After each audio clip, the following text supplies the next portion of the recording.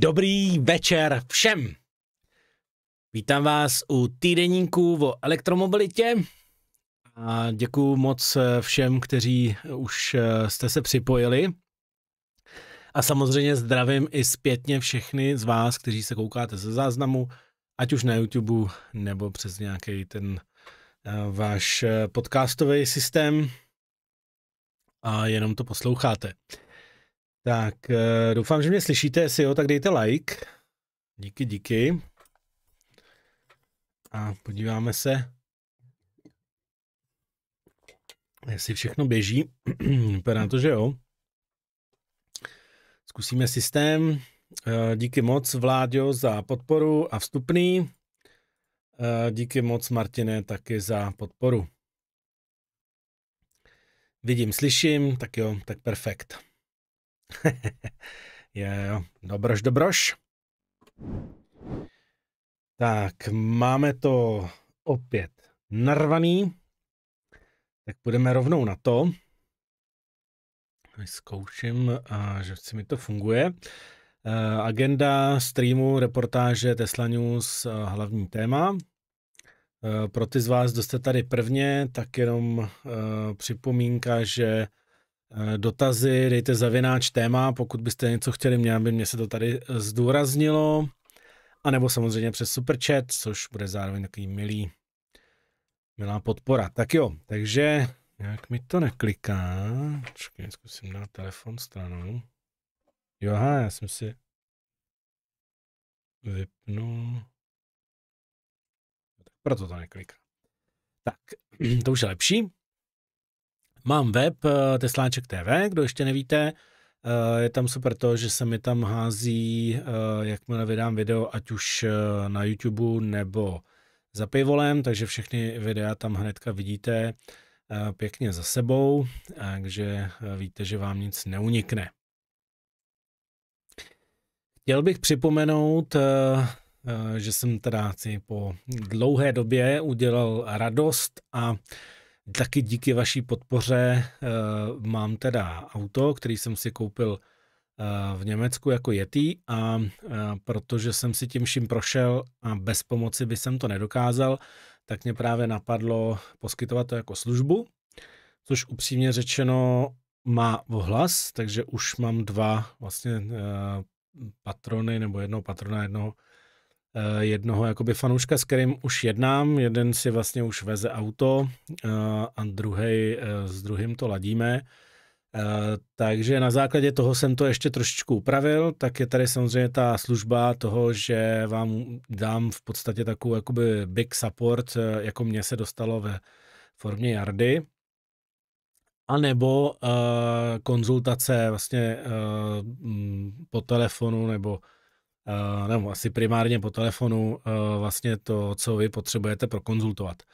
Uh, Původně jsem to měl tady minule jakože měsíčně, ale ukazuje se, že trošičku potom je tam takový ten disbalans, že to směřovalo jako na tu levnější částku a neustále jsou nějaký další dotazy.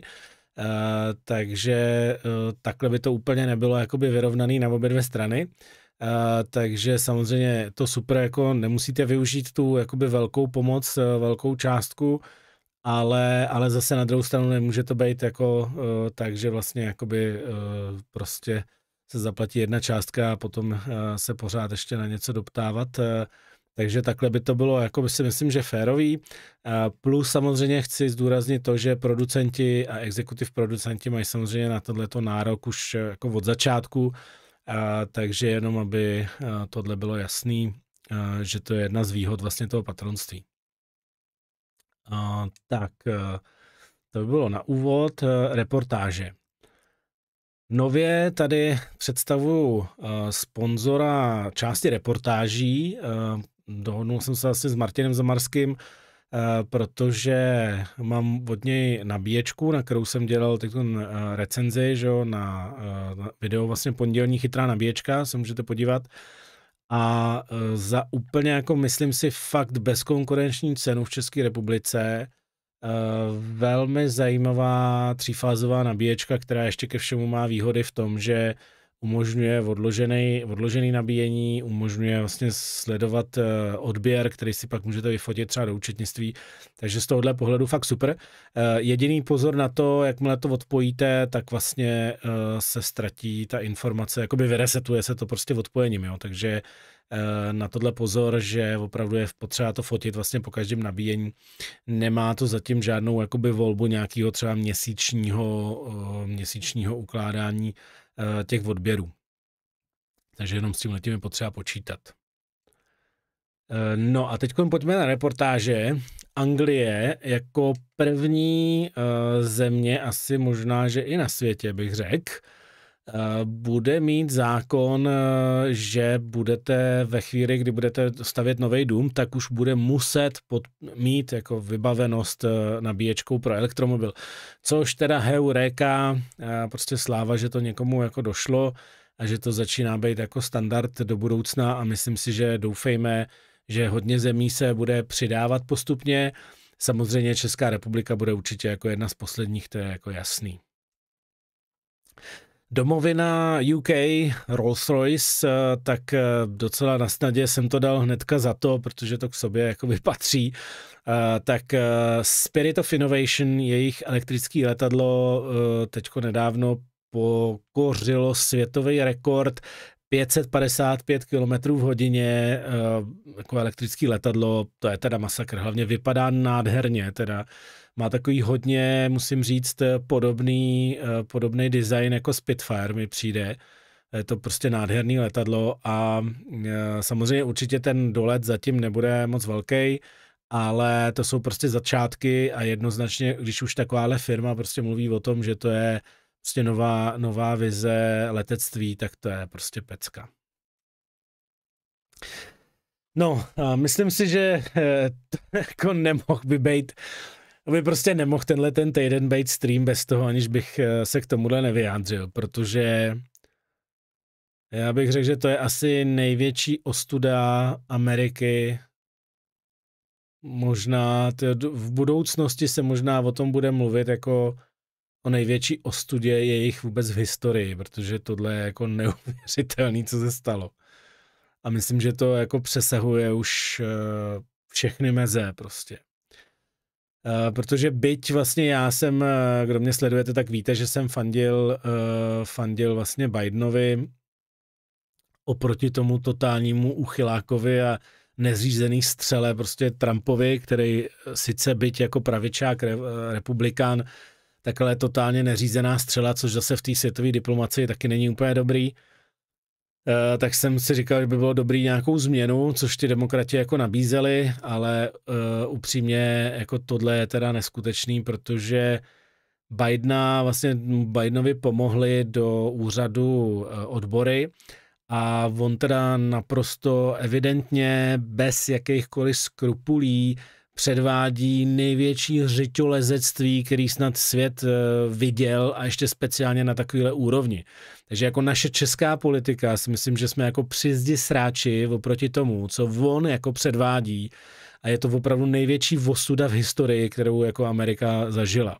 Takže on byl na otevření továrny eh, GM, General Motors eh, v Americe, jejich, myslím, že Zero se to jmenuje, eh, kde při tom proslovu řekl, že Eh, a mluvil vlastně na tu Mary, na tu, eh, na tu CEO ehm, eh, toho GM, Mary Bara, tak jako jí oslovoval jako, že já si to pamatuju, jako by to bylo včera, prostě to, když jsme tady byli v lednu a ty si říkala, že to dokážeš, že revolucionarizuješ eh, celý automobilový průmysl, že ho změní, že ho elektrifikuješ a dala si úplně neuvěřitelný cíl, že do roku 2035 bude General Motors uh, vyrábět 50% elektromobilů ty jsi to dokázala, Mary, ty seš úplně úžasná, jako.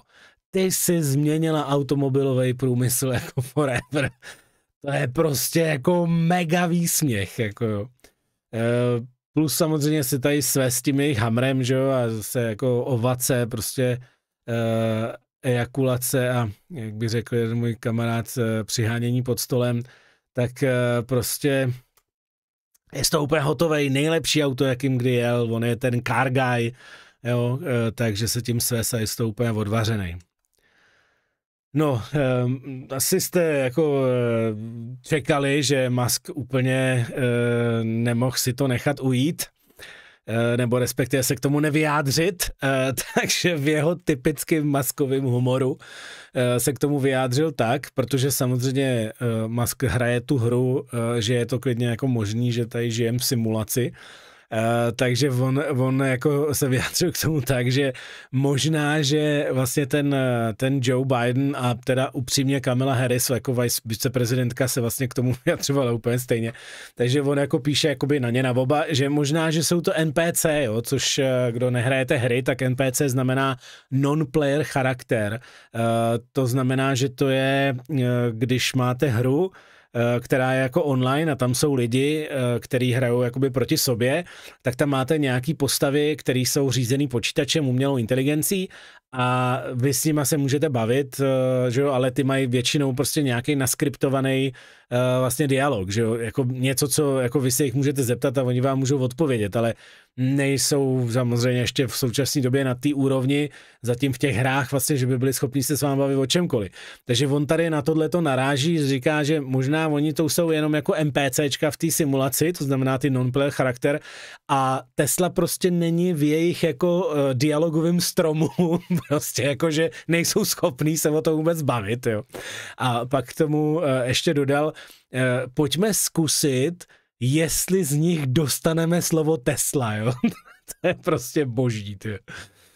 No, každopádně eh, zrovna dneska, myslím, nebo včera eh, na CNBC, což je zrovna jako eh, stanice televizní, která úplně není velký favorit Tesly, nebo nebyla minimálně do, do této doby, ale teď se to začíná vypadat trošku, trošku měnit, že už to začíná jako chápat, tak uh, tam vyloženě, když bychom to ocitovali, tak, tak řekli, že Tesla si vymazává zem swiping the floor, to znamená jako vytírá si podlahu, tak to je úplně správný český, vytírá si podlahu s konkurencí. A jako tady vidíte značky, který jako tenhle ten kvartál rostly, jo? Tesla 64%, Porsche 45%, Hyundai 44%, Kia 38%. Každopádně gratuluju i uh, těmhle těm firmám, který v podstatě to docela i jako koreluje s tím, že to jsou uh, podle mě jediný firmy, který uh, opravdu se snaží s tou elektromobilitou něco dělat a dělají jako dobrý auta, který, nebo minimálně se prostě snaží vlastně dělat, dělat dobrý auta, nový ty elektromobilní a koreluje to vlastně s tím jejich úspěchem vlastně na tom trhu. Jo. Nicméně tady není žádný GM, není tady žádný Ford, jo, takže jako úplně masakr. No a teď, teď jako k těm opravdovým zprávám o GM, který jsou ty lídři v té elektromobilitě. Takže uh, ten GM eh, vypustil teď softwarový update uh, pro Chevy Bolty, že jo, který jim neustále hořej. Tak snížil jim nabíjení na, do 80%. Takže já, když jsem u starého SK byl naštvaný jak blázen, že omezili to obíjení, nabíjení a otravovalo mě to vlastně při tom, když jsme jeli do toho Chorvatska, jako ten část té Francie. Otravovalo mě to tím způsobem, že místo nabíjení 40 minut jsme nabíjeli 50, to znamená, jakoby o 10 minut se protáhlo to nabíjení. Tak tohle jako se svědavě, jak na tohle to zareagují zákazníci. Protože jako u auta, který má dojezd 200 km, když jim najednou to stáhnete uh, prostě o 20%, že jo, tak to už je docela slušný, jako o 40 km třeba dojezd. Uh, tak to je jako hodně slušný, no.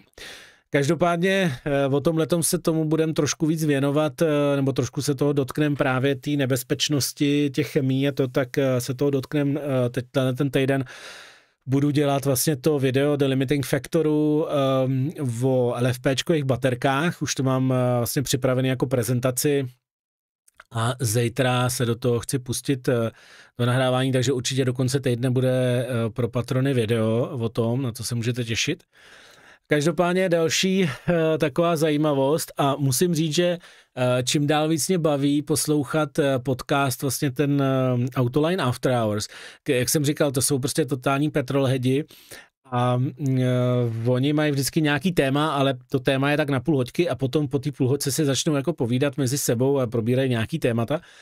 A tenhle ten týden tam měli právě, že probírali, uh, probírali vlastně, jak dopadlo LA Auto Show.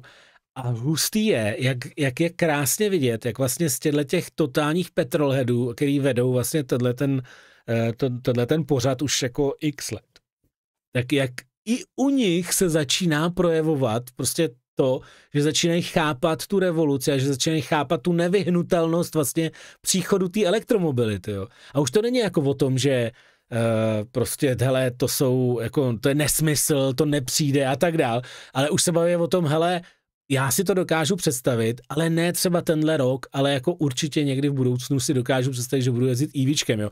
Což je jako posun od totálních petrolheadů, jako úplně non plus ultra, že jo. To petrolheadů vlastně, eh, který jsou ještě ke všem novináři, že jo.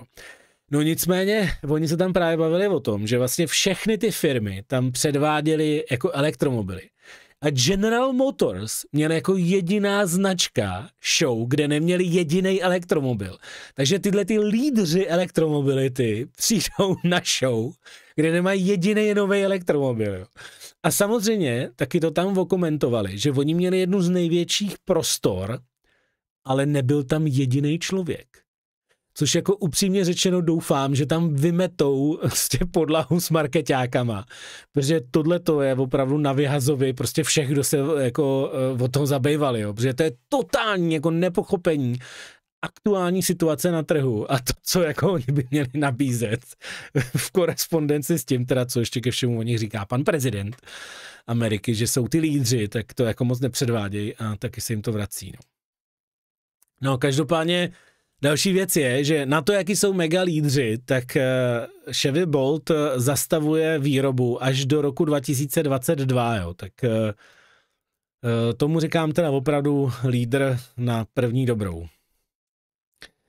No pak tady máme Ford, který oznámil, že plánuje produkovat 600 tisíc elektrických vozů v roce 2023, což je jako brutální upgrade eh, jako do té doby, co vlastně jsme věděli, že by eh, měli produkovat a vypadá to, že tam někdo jako jak říkají amici pedal to the metal, eh, prostě jakoby, že při, přicvakli pedál na podlahu a že se snaží s tím něco udělat.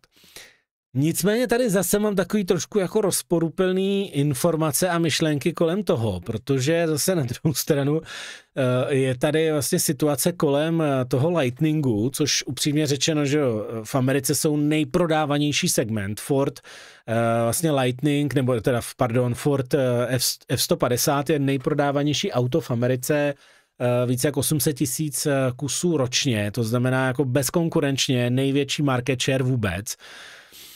A oni mají v tuhle tu chvíli něco, pod, něco málo pod 200 tisíc objednávek. Dobře, Cybertruck má jako 1,3 milionů minimálně. Ale nicméně oni vlastně říkají, že uh, plánují vyrobit tenhle ten rok uh, 15 tisíc nebo respektive kecám, příští rok, v 2022. V roce 2023 chtějí vyrobit 55 tisíc a 80 tisíc chtějí vyrobit v roce 2024. Eh, což upřímně oni říkají, že tyhle ty objednávky, které jsou jako do těch 200 tisíc, nebo kolem těch 200 tisíc objednávek, tak to není započítaný do toho flítový vozy, to znamená ty, co, ty, co objednává jako firmy, což upřímně řečeno se očekává, že u toho traku by měla být větší část toho trhu. Takže tady najednou máme jako otázku, OK, chtějí dělat 600 tisíc elektrických vozů za rok, ale přitom vlastně jejich jako největší, nejprodávanější, tam, kde by mělo být ten největší zájem, tak toho budou dělat 55 tisíc v tom roce 2023. Tak nevím, možná jsem to nějak špatně pochopil, ale přijde mi, že prostě uh, ty firmy uh, začínají to hodně jako povídat, hodně jako slibovat, ale jsem strašně zvědavý na ty, na ty splněné sliby. A tady jsem hrozně zvědavý potom na tu uh, na to srovnání toho, jak se furt o Maskovi říká, že on je hrozná slibotechna, že nedodržuje to, co slíbí, tak jsem strašně zvědavý, jak to ten Wall Street jako připomene těmhle těm firmám, až dojde k těmhle rokům, co oni slibujou. No pak tady máme další, což je Stellantis, eh, který mu patří Dodge, eh, eh, což je jakoby, že, takový jedno z klasických amerických muscle car, jak tomu říkají. Takže oni jsou připravení dominovat. Bude konec spalováků v roce 2024 u nich v Dodge a roztrhají ten elektrický trh, protože budou dominovat takzvanému muscle car marketu v roce 2024. Uh, eh, trošku je zajímavý, asi zřejmě neberou uh, Tesla Model S Plaid jako muscle car, nebo Lucid jako Dream Edition, že jo, který je taky jako poměrně výkonný, nebo i třeba Porsche, že jo, Taycan, který podle mě jako by mohli spadat do toho muscle car segmentu, ale možná, že nemají dostatek muscle, protože nemají ten benzín, nebo nevím, nebo že tam nemají tu díru možná na ten, na tu, tu násosku, že, jo? že tam nemají asi vepředu nahoře, že to je třeba asi ten symbol toho muscle car. Každopádně uvidíme, zase to bude velmi vtipný sledovat eh, v budoucnu, jak tohle to dopadne. No a tady máme docela jednu takovou hodně zajímavou uh, věc, která teda, kterou přímě řečeno jsem nevěděl, že ty dotace americký se budou vztahovat i na elektrokola a, a bajky, uh, což jako je docela zajímavý, protože jako elektrokola to je podle mě totální úlet, protože ty se prodávají jak eh, baťa cvičky i bez jakýchkoliv dotací. Takže dát na to ještě dotaci, to bude jako zajímavý. Ale jako e-bajky, jo, protože upřímně ty 7,5 táců, ty za toho Harleje, to už jako není úplně špatný, tyjo, protože ten elektrický Harley, jestli se nepletu, tak ten stojí nějakých asi 30 babek, 30 tisíc jako dolarů. Tak to jako upřímně, tyjo, z 30 tisíc dolarů 7,5 dolů, to už je jako hodně slušný, tyjo. Tu jsme jako skoro na třetině. A ještě speciálně, podle mě, Harley ho určitě vyrábí v Americe a podle mě možná Harley má i odbory, takže možná by tam mohlo být i větší ten discount. No jako bylo by, to by bylo teda hodně zajímavý, no. Každopádně další, na kterého se to vztahuje, je třeba Ar- Arkimodo, o kterým, že jo, který mu se snaží pomáhat eh, Sandy Munro, eh, což jsou takový jako trajky, že jo, tak i na tohle se vlastně bude vztahovat dotace, což zase je hodně zajímavý. A myslím si, jako když se podíváme na to, jak, jak jde ten, ten, ta akciová křivka, tak si myslím, že by to nemusela být úplně špatná investice. Bohužel teda eToro to nemá ještě zalistovaný, ale pokud byste věděli, kde to nakoupit, tak tohle bych docela možná zvážil jako nějakou dlouhou investici, protože evidentně už mají ten spike, mají za sebou eh, tu, tu jakoby špičku a teď to kleslo na nějakou docela takovou jakoby eh, dlouhodobější stagnaci, takže do budoucna by to mohlo vystřelit. No a teďkon otázka. Pokud budou dotace půjdete do e-motorky, křížek ano, křížek, teda křížek jednička je ano, křížek dvojka ano i bez dotace, křížek trojka ne, mo to mě nezajímá, tak jenom bych poprosil o vaše názory, já se zatím zase podívám trošku do komentářů. E, nazdar Kamile, vítám tě zpátky v Čechách. E, podíval se za náma e, na Vánoce, což upřímně řečeno teda jako z teplý Ázie přiletět zrovna na Vánoce, to by asi chyběl sníh, viď? to bychom chyběli my určitě, že jo. Děkuju moc teda. Jirko, díky moc taky za podporu. Eh, díky moc Marku za podporu. Eh, on za, zasílám povinné díčko. Díky moc. Eh, Stanislav D11. Ahoj. Nevím, jestli si ještě už někdy posílal. Každopádně děkuju moc za tvoji podporu. Autokult, jdu včas. Hele, asi jo. Volby v US byly průser. to radši nebudu ani číst, jo, snad. Počkej na volbu u nás, až bude volba mezi Babišem a Okamurou. Prosím tě, nepřivolávej takovéhle věci. Tyjo. Hele, uh, tady tohleto jsem zaznamenal, že někde proběhlo, ale oficiálně uh, je to, co jsem dohledal, tak 1,3 milionu. Se trošku obávám, že někdo, kdo tohleto začal šířit, tak, uh, tak asi se mu tam nějak vymazala ta jednička a tečka na začátku. Jo, prvýkrát konečně. tak děkuju. Arcimo, Arkimodo je na Degiru. Degiru, jo? No, tak to se musím na to podívat. To neznám. Jo, já jsem zapomněl zapnout results. No to mě nezajímá.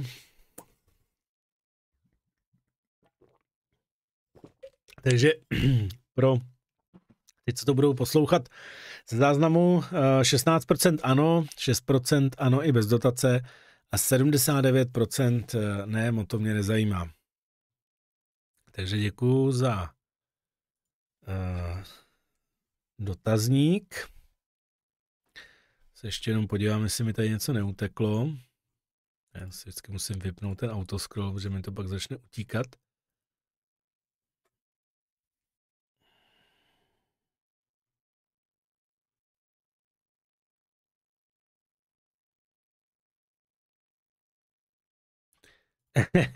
Jo, jo, taky bych poprosil o lajky. Podíváme se, jak jsme na tom.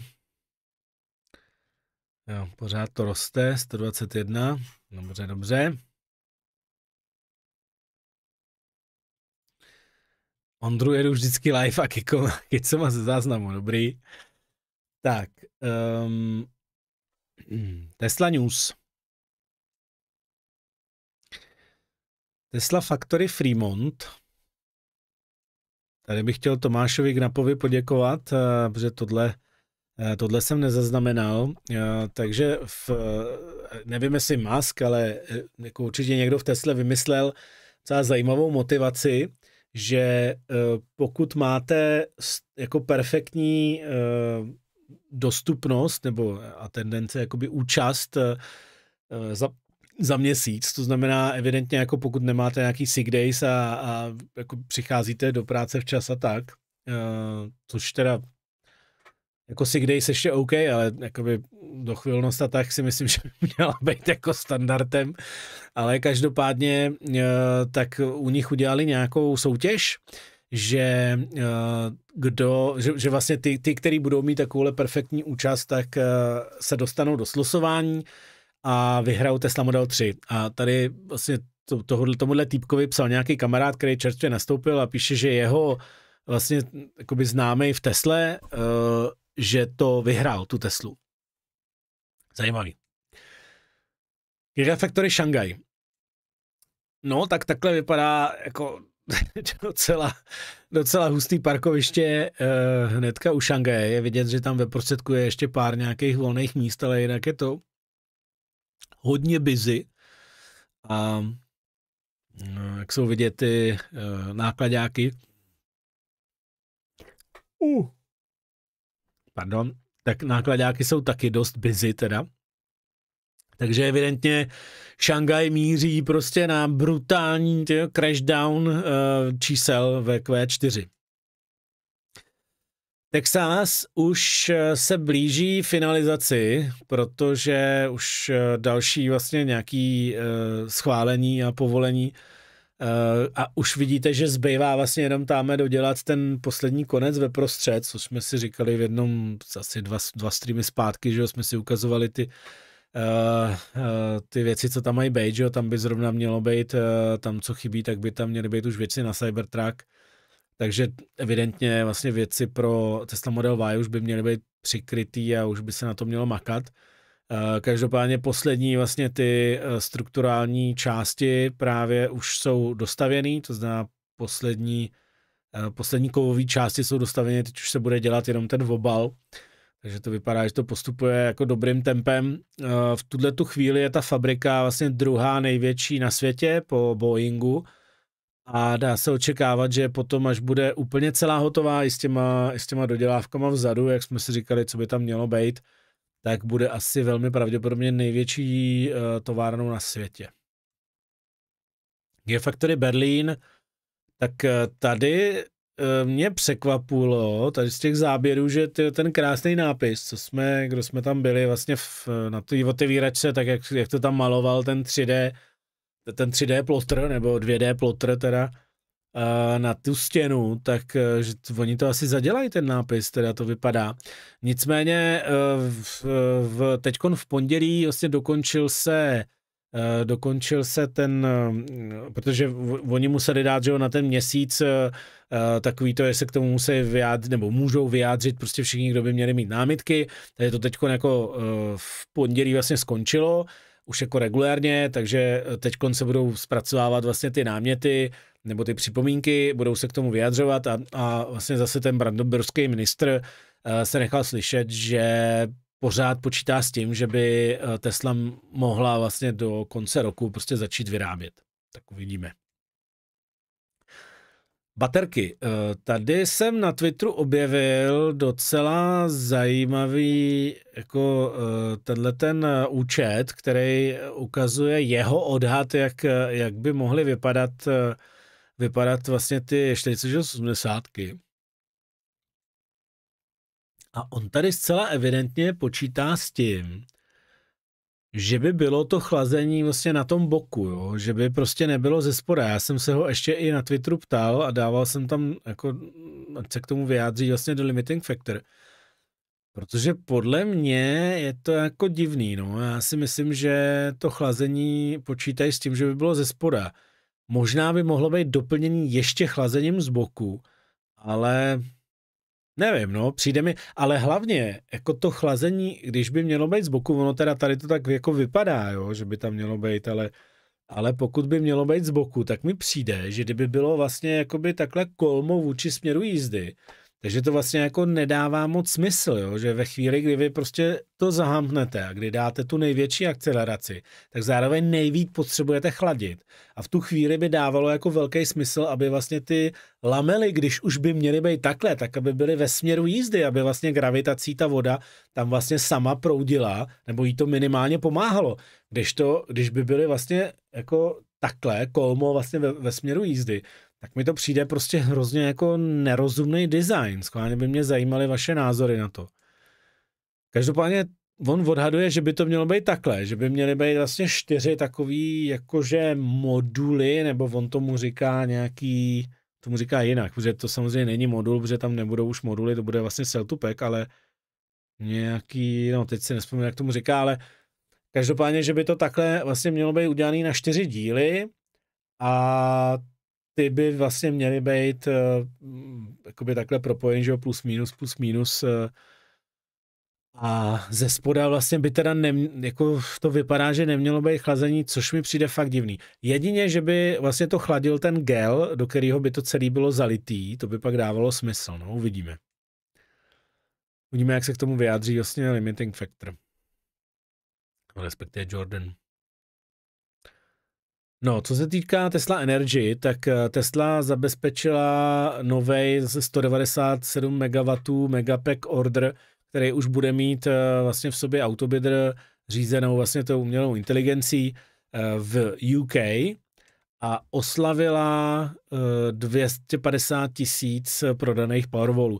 Takže pomalu se to začíná zvedat a tady je docela dobrá indikace, protože není to tak dávno, co jsme, myslím, oslavovali 200 tisíc. Ale od té doby vlastně Tesla že jo, dala jako povinnost, že se nedá koupit ten Powerwall bez toho, aniž by to bylo součástí soláru. Čili v podstatě tady zároveň jako vidíme, že Tesla musela prodat minimálně 50 tisíc vlastně instalací soláru.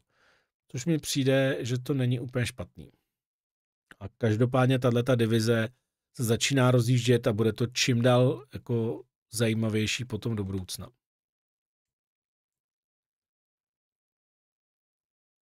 No, Tesla Model S Plaid, tak tady Musk eh, se mm, jako odpověděl na otázku, jestli přijde Model S Plaid do Číny, tak odpověděl, že by měla přijít eh, v březnu. Což je otázka, jestli přijde nejdřív do Číny a potom do Evropy, nebo jestli přijdou společně, nebo jestli přijde nejdřív do Evropy a potom do Číny.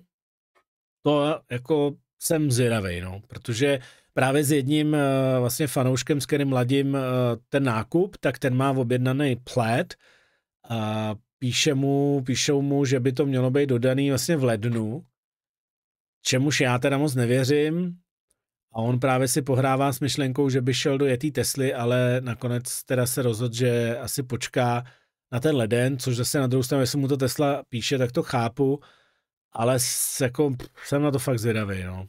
Jsem na to fakt zvědavý. Tesla Model 3. Takže tady zase díky Tomášovi uh, za poslání, že Tesla vlastně plní to, co řekla, to znamená, že ty Tesla Model 3 Standard Range Plus, který se dneska jmenují Real Wheel Drive, to znamená náhod na zadní uh, kola, uh, ty nejlevnější zkrátka, ty s těma železofosfátovými baterkama, uh, tak od 1. listopadu, a pozor, původně bylo myšlený, že vyrobený od 1. listopadu, ale ve finále to vypadá, že prodaný, nebo respektive dodaný od 1. listopadu, tak do, začínají dostávat všechny zpětně uh, vytápěný volant a vytápěný zadní sedačky. Tady samozřejmě na to se ozvalo spousty jako lidí, co mají ty Standard Range plusky, že to chtějí taky a že vlastně to mají dostat zadarmo, protože ona Tesla to už nějakou dobu tam dodává a dala to, že jo, jako upgrade do aplikace. Akorát, že si myslím, že těm lidem trošku jako nedochází, že od té doby, co oni si to koupili, tak Tesla to auto asi čtyřikrát nebo šestkrát zdražila, že jo?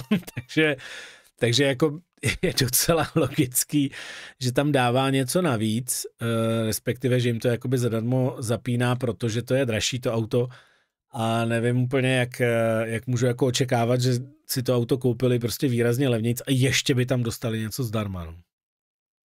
Hlavně, když to tenkrát nebylo vlastně slíbený, že jo. Tesla Model Y, takže tady právě z Berlína unikly první fotky, který vypadá, že by to mohl být eh, produkční nebo předprodukční vůz z Berlína Y, protože vlastně to vyjelo, vyjelo pár kusů po sobě uh. z toho Berlína a potom tam jako testovně jezdili pak byli i přikrytý plachtou, což teda upřímně řečeno mi přijde takový trošku zbytečný, když tam lítá dronů víc než uh, letadel na letišti. Ale takže to jakoby o to víc to trošku jako ukazuje na to, že by to asi mohly být ty předprodukční kusy a dává to maximálně smysl, že jo, protože jestli je Tesla před spadnutím, eh, že by měla mít povolení tam vyrábět, tak by byli blázni, kdyby to všechno neměli vyladěný už dopředu a a jako už tam prostě testovali a zlepšovali a zrychlovali výrobu, aby to pak mohli ohulit na plný, na plný pecky. Jo, no a potom, eh, jak jsem byl v Praze, eh, tak jsem se dohadoval vlastně eh, na, na servise, protože si chci udělat upgrade toho MCUčka a něco se tam zahlít, ale taky jsem tam byl vlastně kvůli tomu, že Jaro Dobijáš, ho zdravím, ahoj Jaro, tak, mi, eh, tak tam šel na servis taky a dal mi eh, jeho domácí jitrničky, nebo teda jitrničky, ty klobásky a tak, takže díky moc, zrovna dneska jsme měli část k večeři, takže děkuju. Přijíždí první dávky z Číny tento kvartál do České republiky. Jsme tady v Tesla Průhonice. A už se to sem veze, tak či pak to je, přiznejte se. No, takže zrovna když jsme tam byli, tak tam přijížděli Y. A podle mě to byly první dodávka. takže skválně, kdo z vás máte objednaný a kdo, kdo si pro ně jedete, napište tak do komentářů. Nabíjení. První supercharger v Antarktidě co jsem jí tweetoval, protože tím pádem Tesla vlastně splnila to, že, nebo splnila, Vočkrtla si poslední zemi americkou, na který neměla superchargery. Takže Tesla začíná vlastně dobejvat i Aljašku, což samozřejmě z pohledu potom jako aut bude jako hodně zajímavý, protože tam samozřejmě tam je trošku zima, takže, takže to bude jako zajímavý, um, ale určitě tam nekončí. No a potom je tady jedna další věc, která, uh, která je zajímavá, kterou jsem zaznamenal vlastně poprvé na Ride Limiting Factor, uh, Ride, uh, Ride Lightning podcastu, a je dostupná normálně na tesláckých stránkách, když se podíváte vlastně na to, na biznis jako ohledně nabíjení, to znamená, to jsou ty stránky, které původně se věnovaly Eh, Destination Charge Room, eh, tak eh, dneska je to už jako postavený tak, jako udělejte si biznis kolem Tesly. A zrovna s chodou okolností mě dneska nebo včera mě kontaktoval nějaký majitel nějakého penzionu, že se koukal na moje video a že nemůže najít, jako kde se může přihlásit od ty zdarma nabíječky. Uh, takže prosím vás, tenhle ten program už je dávno u konce, takže Tesla už tohleto ukončila, není možný získat nabíječku zdarma ale je možný si ji koupit za svoje peníze, ale na druhou stranu je možný vlastně do budoucna bude možný, teď to ještě úplně není domakaný, ale pracují na tom, že bude možný si za to nechat účtovat. Eh, to znamená, že vlastně ten majitel bude moct eh, si nechat platit za to nabíjení a myslím si, že to bude jako takový rozumný kompromis, eh, prostě pokud ty majitelé nebudou blázni a nebudou chtít z toho mít jako biznis, ale dají tam, i kdyby tam dali prostě tu cenu, za kterou, za kterou to mají, tu elektriku, nebo o, já nevím, 20% víc, tak pořád je to prostě za rozumný peníze a oni z toho budou mít nějakou marži za to, že se o to starají. A hlavně odpadne takový to, jako že prostě se budete doprošovat někde na recepci, prostě aby vám to zapli a oni se na vás budou koukat a jako opravdu si tady chcete něco dát, nebo si dáte jenom kafe? A chcete tady jako 6 hodin ucucávat kafe, že jo, takovýhle podobný strapnování strapňování prostě toho uživatele, takže, uh, takže tohle mi přijde jako rozumný krok. A hlavně pokud by to celý vlastně zastřešovala Tesla, tak by to bylo jako hodně hustý, kdyby třeba ona z toho měla nějaký fíčko a vlastně bylo to celý přes tu Tesla aplikaci, tak vlastně potom najednou ten jejich, eh, jako ta jejich nabíječka, která je za velmi rozumný peníze a dneska už vlastně i s ochranou vlastně veškerou, kterou potřebujete i pro tu EU legislativu, tak vlastně najednou by to byl jako generátor na peníze i pro non-Tesla EV, protože vlastně tím, jak Tesla bude otvírat ty superchargery těm ostatním eh, automobil, automobilkám nebo automobilům, ne automobilkám, pravda, Uh, uživatelům jiných elektromobilů, tak úplně přesně uh, přes tu její aplikaci, tak vlastně podobně by šlo uh, podle mě do budoucna řešit i nabíjení vlastně těchto těch destination chargerů a dávalo by to hodně smysl, protože by vlastně ty destination chargery tím pádem automaticky byly i v té aplikaci. To znamená, Tesla by si tím automaticky zařídila to, že ten člověk by chtěl, aby byl v té aplikaci, protože by přesto bylo probíhalo to placení. No, takže by to byl takový win-win pro všechny a samozřejmě potom eh, tím pádem i protože by se rozšířila najednou vlastně síť eh, těch stanic nabíjecích i pro všechny ostatní a hlavně by tím taky vyřešili ten problém, že dneska ty hotely, eh, co to dostají zdarma, tak mají ty V2 nejlíp nabíječky, který vlastně nemají to Wi-Fi, nemají možnost online updateů, nemají možnost online že té diagnostiky. A tohle mi přijde jako, jako dobrý krok k tomu, že vlastně ten hotel, i když nemá Teslu, tak potom se bude dát řešit oprava a a, a prostě nějaká diagnostika od Tesly, aniž by vlastně ten hotel a, jako tam musel mít to auto. A zároveň ale ten hotel bude muset zařídit, aby jako u těch nabíječek byl, byla wi aby ty nabíječky byly pod wi takže tím pádem by se tam mohly připojit i ty auta. No prostě takový win-win pro všechny. Mobilní aplikace. Možná jste zaznamenali e, zprávy o tom, jak se tesláci chudáci nemůžou dostat do auta, nemůžou nikam jet a podobní keci.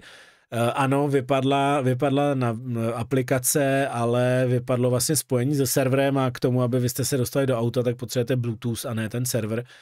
Takže, eh, takže to vůbec se nezakládá jako na pravdě. jenom takový jakoby zase trošku ukázání toho, jak funguje prostě realita oproti tomu, co máte v titulkách. Uh, Musk velmi promptně na to zareagoval a ta, ten problém byl vyřešený asi za 4 hodiny vlastně nějakým, nějakou jako opravou a, a samozřejmě Musk tady slibuje, že se pokusí, aby se to už nestalo. Uh, taky Tesla aplikace dostala nějaký nový face, uh, nový widgety tam uh, je možný dělat a jsou tam hlavně nový náhledy na, na ty věci kolem soláru, což bohužel my tady v Čechách úplně neoceníme zatím, ale vypadá to jako velmi dobře, ten, ten systém, kde, kde jako ta, ta diagnostika vypadá super, to v podstatě to, co my jsme probírali s Androu Bayerem, že jo, v, v, těch, tom seriálu o té fotovoltaice, o tom softwaru, tak tady máte v podstatě to, co my jsme si ukazovali, jak máte v mobilu, prostě plně pod kontrolou, to je jako perfekt.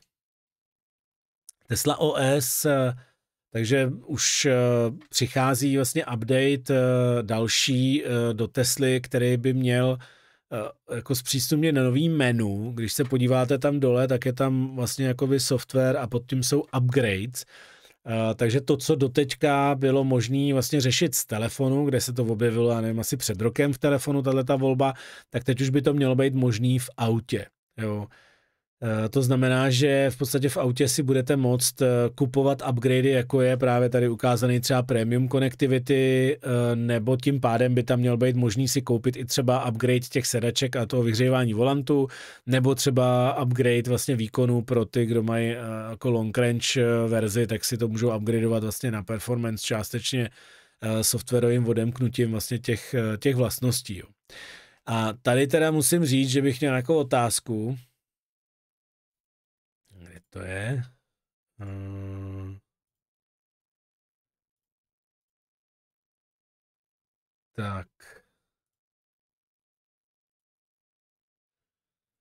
A bojíte se těchto těch inkár nákupů? Uh, jako upřímně řečeno, když jsem to viděl, tak já z toho teda nadšený nejsem. Uh, protože jako za prvý, když to auto třeba někomu půjčíte, jo, tak uh, on vám tam může něco kliknout, anebo jako Kubík, tyjo, ten prostě Eh, byl v autě tyjo, 10 minut a už, už jako na displeji otevřel nahoře mm, šíbr, jako jo. takže já úplně vidím, jak Kubík, tyjo, který tam prostě kliká, tak tam nakoupí tyjo, třeba full self-driving za 100 táců prostě jedním kliknutím Eh, což je třeba jedna z těch věcí, která tam bude určitě taky, jo. takže by mě zajímal váš názor na to, takže eh, křížek jedna, ano, eh, bojíte se toho, křížek dvě ne, pokud to bude s heslem, křížek tři je to super, tak tady mě zajímaly vaše názory, samozřejmě asi primárně teda tesláci,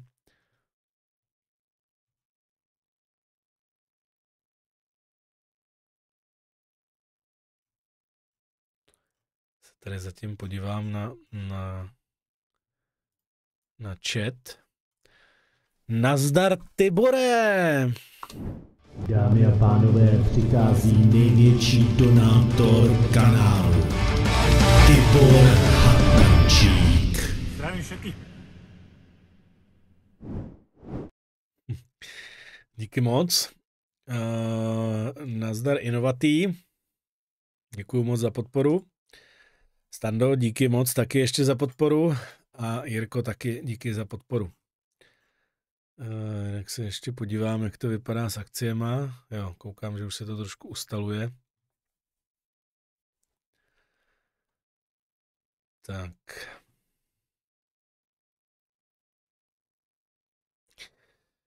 Jasný, no, takže pokud to bude s heslem, tak to nevadí, tak to je mi jasný, no, ale musí tam být to heslo, no.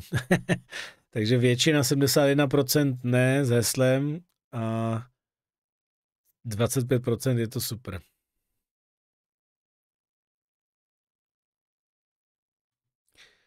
Takže spíš většina je jako by za.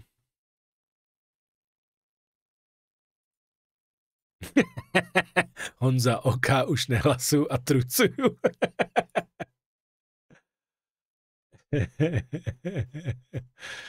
Ach jo.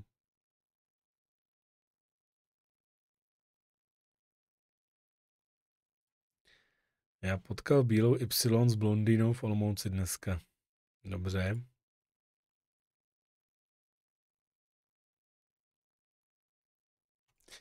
Jo, Honza píše, na Aljašce má většina parkovacích míst ve městech přípojku na 110 V, aby se mohly auta v zimě rozehřát před startem. V minus 40 by to bylo super, kdyby to bylo i u nás na sídlištích petrolhedi by zmlkly. Jo, jo, to je pravda, no.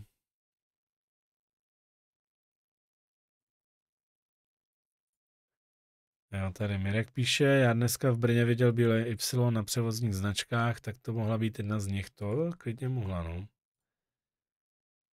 Autokult eh, na Aljašce by mohla být eh, naopak výhoda, když je tam fakt velká zima, tak se spalovací motory musí zahřívat, aby povolil olej a šlo vůbec nastartovat. Může to trvat i několik hodin. Jo, jo, jo, jo, jo.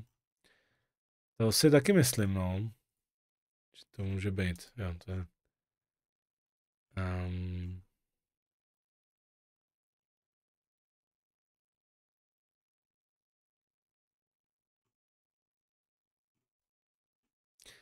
já koukám, že Jirka se tam nějak rozepsal.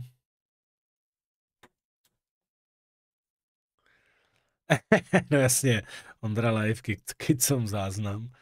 Uh, u nás Automotiv jeden čas fachal bonusem, eh, že když byl měsíc bez sick days a bez paragrafu, měl si litr navíc. Aha, jo, no tak to bude něco, něco podobného, no.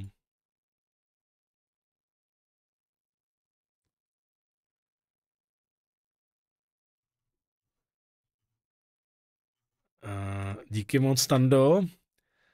Jsem rád, že to funguje a Ondro, díky taky za podporu.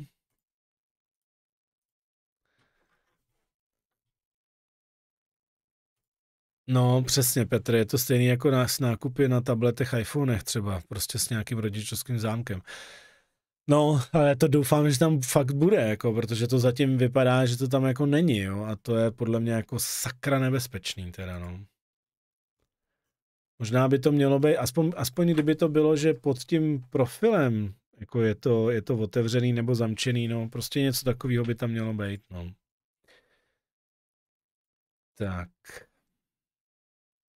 Full self driving. Eh, máme tu další verzi 10.5 eh, vydaná, eh, která má další spoustu novinek a vypadá to, že je na tom hodně líp, takže příští týden bychom se asi podívali na to, na to zase víc eh, zblízka, protože tenhle týden je toho tolik vlastně, že se k tomu jako úplně, úplně nedostaneme.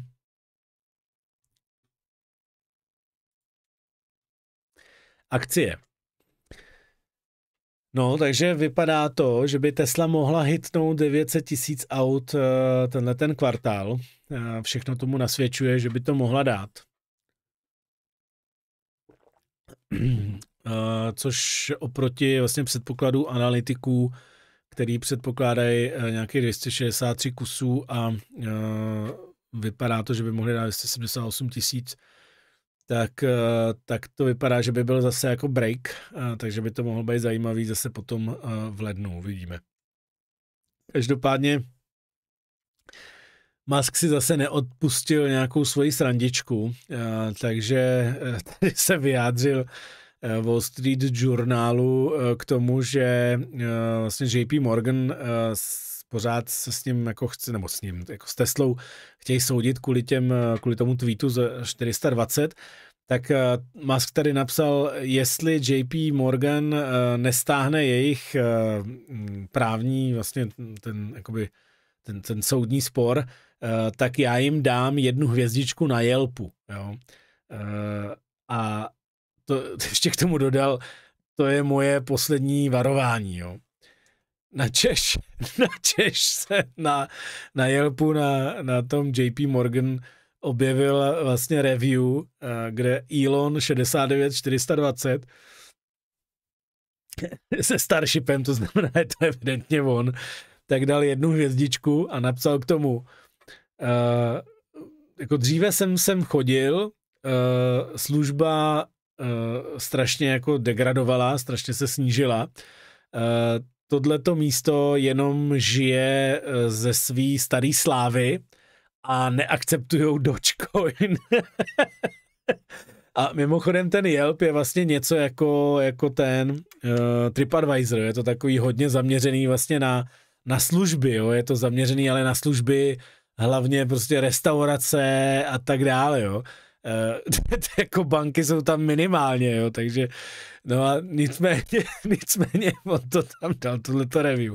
A následně na to se tam nahnalo potom jeho tweetu a potom se toto, tak se tam nahnalo prostě to stádo vlastně uh, Elon ovcí, uh, který jakoby chtěli vlastně že, vyjádřit podobný názor a uh, ten Yelp to musel zablokovat tu stránku, uh, že vlastně tady píše, že tenhle ten obchod se nedávno objevil jako biznis, jako by to, ta podnikatelský subjekt by se dalo říct, se nedávno objevil ve zvýšeným zájmu uh, veřejnosti v novinách, což velmi často způsobuje, že lidé sem přicházejí na tuhle stránku vyjádřit svoje pohledy na základě zpráv z novin, více než na základě jejich osobní zákaznické zkušenosti.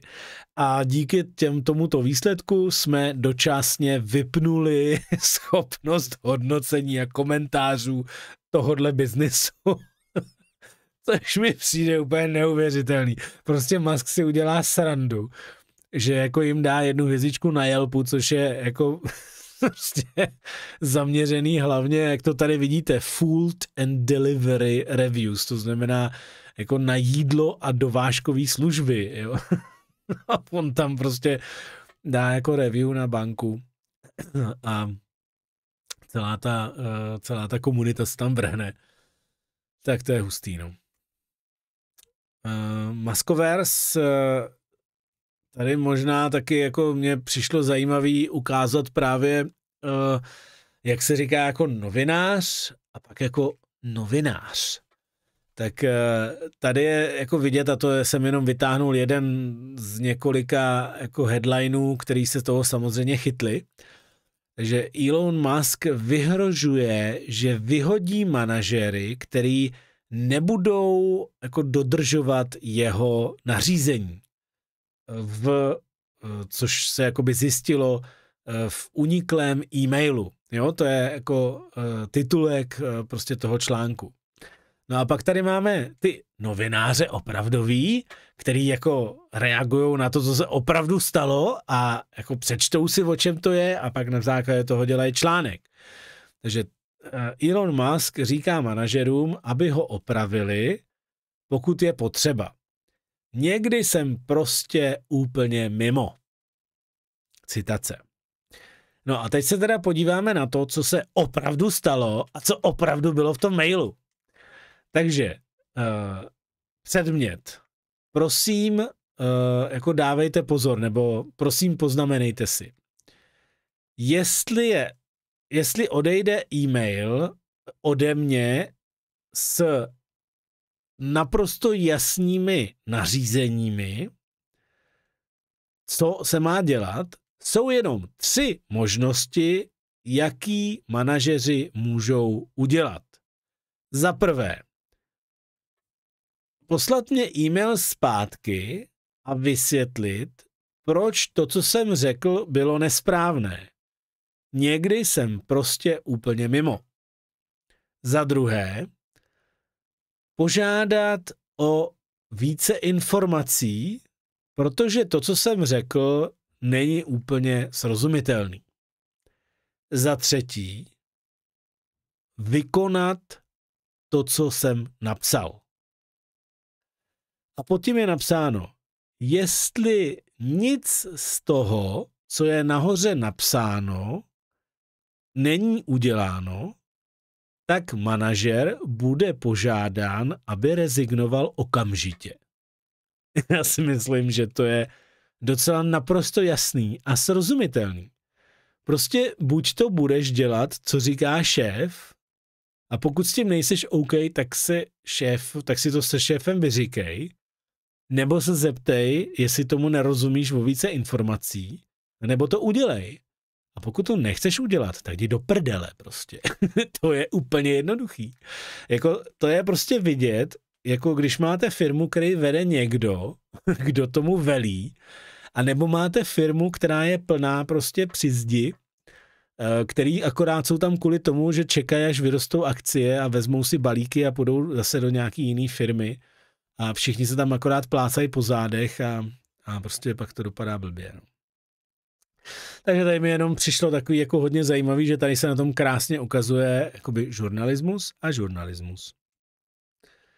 No pak tady máme update na Starlink, uh, takže služba testování nebo zápůjčky, taky už mám na to nějakou poptávku, takže každopádně koho by zajímalo, protože eh, jsem zjistil, že je možný přelinkovat adresu a vlastně ten Starlink uh, i zaregistrovat někde jinde, pokud tam teda lítají satelity. Takže je možný to buď to, že bych tam zajel a spolu jsme to otestovali, anebo vlastně, že by jsem to třeba zapůjčil. A každopádně teď se mi vozval vlastně můj uh, spolužák z základky, kamarád, který uh, vlastní filmu Pocket, uh, Pocket Virtuality, uh, která se zabývá jako virtuální realitou, argumentovanou realitou a budeme jako v pátek dělat pokus, uh, kdy ze dvou Starlinků, takže on má jeden Starlink, já mám jeden Starlink a přes ty Starlinky budeme přenášet vlastně virtuální realitu, tak jsem zvědavý, jak to dopadne. Eh, takže potom se můžete těšit eh, na výsledek. No, tak se podíváme na otázky. Díky moc, Stando, za podporu. Čtyři bloky. To asi bylo myšleno na ten, eh, na tu aliašku, ne? Takže začínají začínaj z mala. Tak ono tam zatím není moc tesel, že jo, na té Aliašce právě, protože tam nemají ty superchargery. Hmm.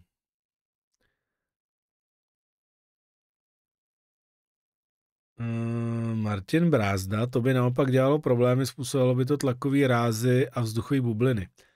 A jako kdyby to bylo jako podélně, jo, tak to je evidentně asi na ty, eh, na ty bubliny, teda na to chlazení toho pod, eh, těch baterek. Eh, všimněte si, jak už eh, se začínám jako orientovat, k čemu asi se ptáte, i když je to už jako o několik slajdů jinde.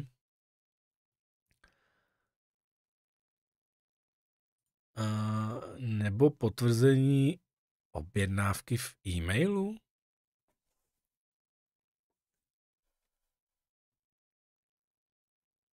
Tak tady teda úplně nevím, k čemu to je.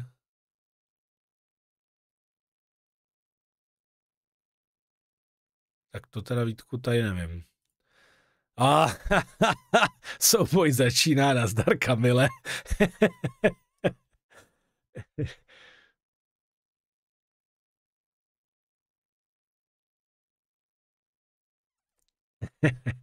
Až skončíš, tak přijeď.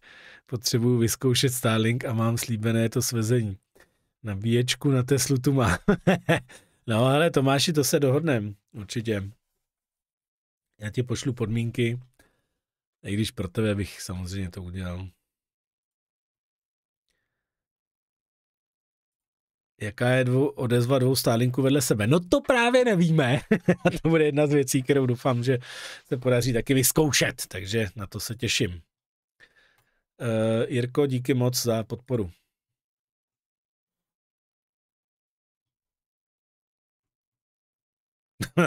playman, playman, true. Hm, OK.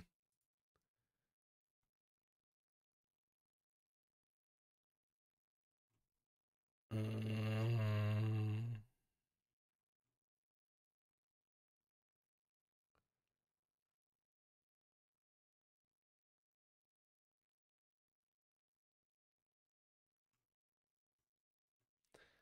Já tady koukám, že se ptá k těm nákupům, doteď potvrzují nákupy v aplikaci v Tesle. Ale uh, tam se nepotvrzují, tam prostě zmáčkneš a on se ti to hnedka strhne. Uh, a jako nejsou zdarma, jsou prostě placený.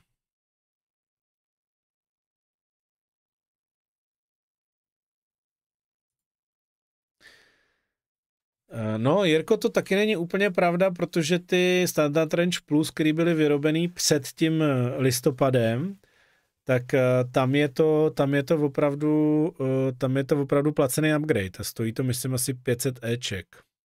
Jo, 500 dolarů. Se musím vysmrkat, pardon.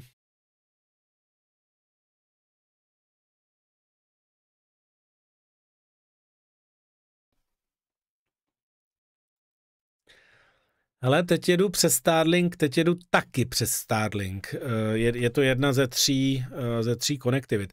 Mimochodem teda musím jako pochválit Starnet, protože eh, jak jsem to trošku jako vyhejtil, tak, mm, tak vlastně se musím říct, teda Starnet jako brutálně polepšil a tyjo, to, to jako ta jejich, teďko jejich služba je teda super, tyjo. Ježíš hele, Tibor, Tibor se začíná mlátit s, ty, s Kamilem. Děkuju moc, Tibor, za podporu.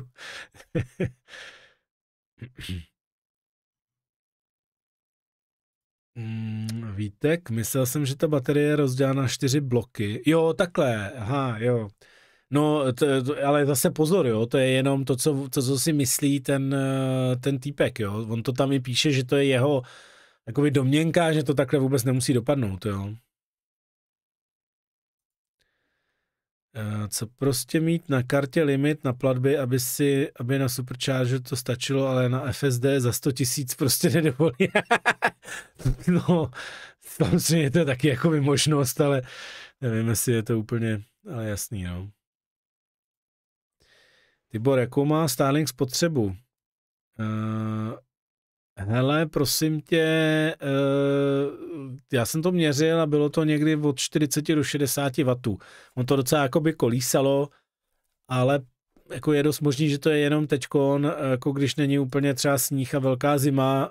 Uh, mám informace, že tam vlastně v té desce je nějaká topná spirála, která vlastně v případě, když na to třeba nasněží, tak to se zahřeje a vlastně jako uh, má to rozehřát ten sníh což by dávalo smysl, protože to poéčko vlastně, co je k tomu Starlinku, tak je prostě úplně obří, jako to je prostě, to, to, to je velikosti jako můj nabíjecí zdroj pro Alienware, prostě notebook, který jako uh, uh, který je docela hustý, no.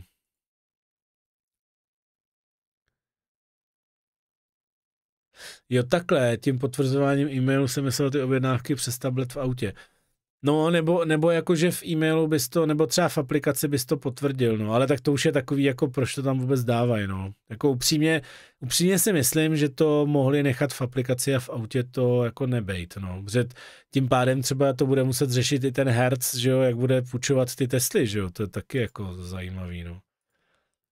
60, 60, 60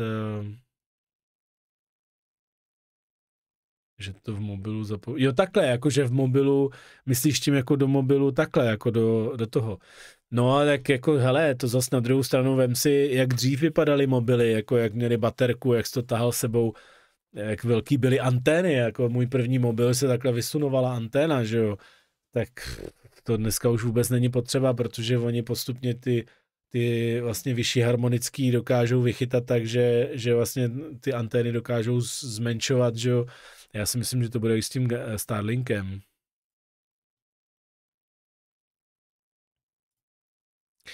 Ale Petře, eh, Tesla určitě nevíde se smartphonem, eh, protože, protože ty prostě jako do smartphonu vůbec nepůjdou, protože oni mají jako Neuralink, že jo, tam to dává jako větší smysl. Díky moc, Tando, za podporu.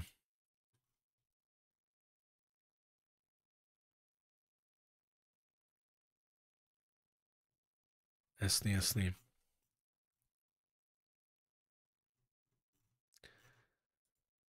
Uh, 46 tu potřebuje na motorické natáčení talíře a vyhřívání.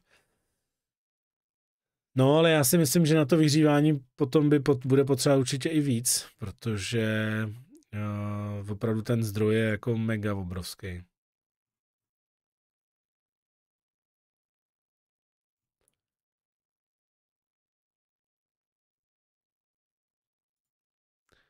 Na autoforu z toho Bidena měli Vánoce?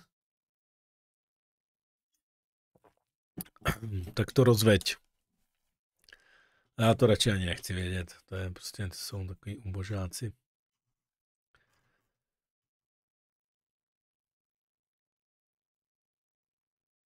Jo. Dobroš, dobroš. Tak.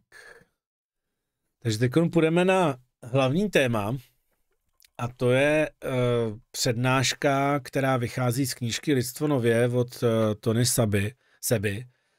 A já jsem původně, uh, původně jsem to chtěl dát vlastně na jeden zátah, ale když jsem zjistil, na kolika jsem slidech a vlastně, že vždycky mám tady jakoby předtím, že jo, tyhle ty reportáže a tohle, Kdybych to dělal jako jenom tohle téma, tak by to asi šlo, ale bude lepší to rozdělit. Takže jsem to rozdělil na to, že v té první části se budeme věnovat uh, vlastně tématu narušitelů, což je vlastně něco, co já už jsem tady taky jako měl na svém kanále, už jsem to dělal ze svého pohledu, tak tady je dobrý, že se tomu budeme věnovat eh, z pohledu toho Tony Seby, který upřímně eh, je už někdy od roku 2012, možná, možná 10, vlastně se tím letím zabývá, zabývá se přednáškama o e, narušitelích trhu.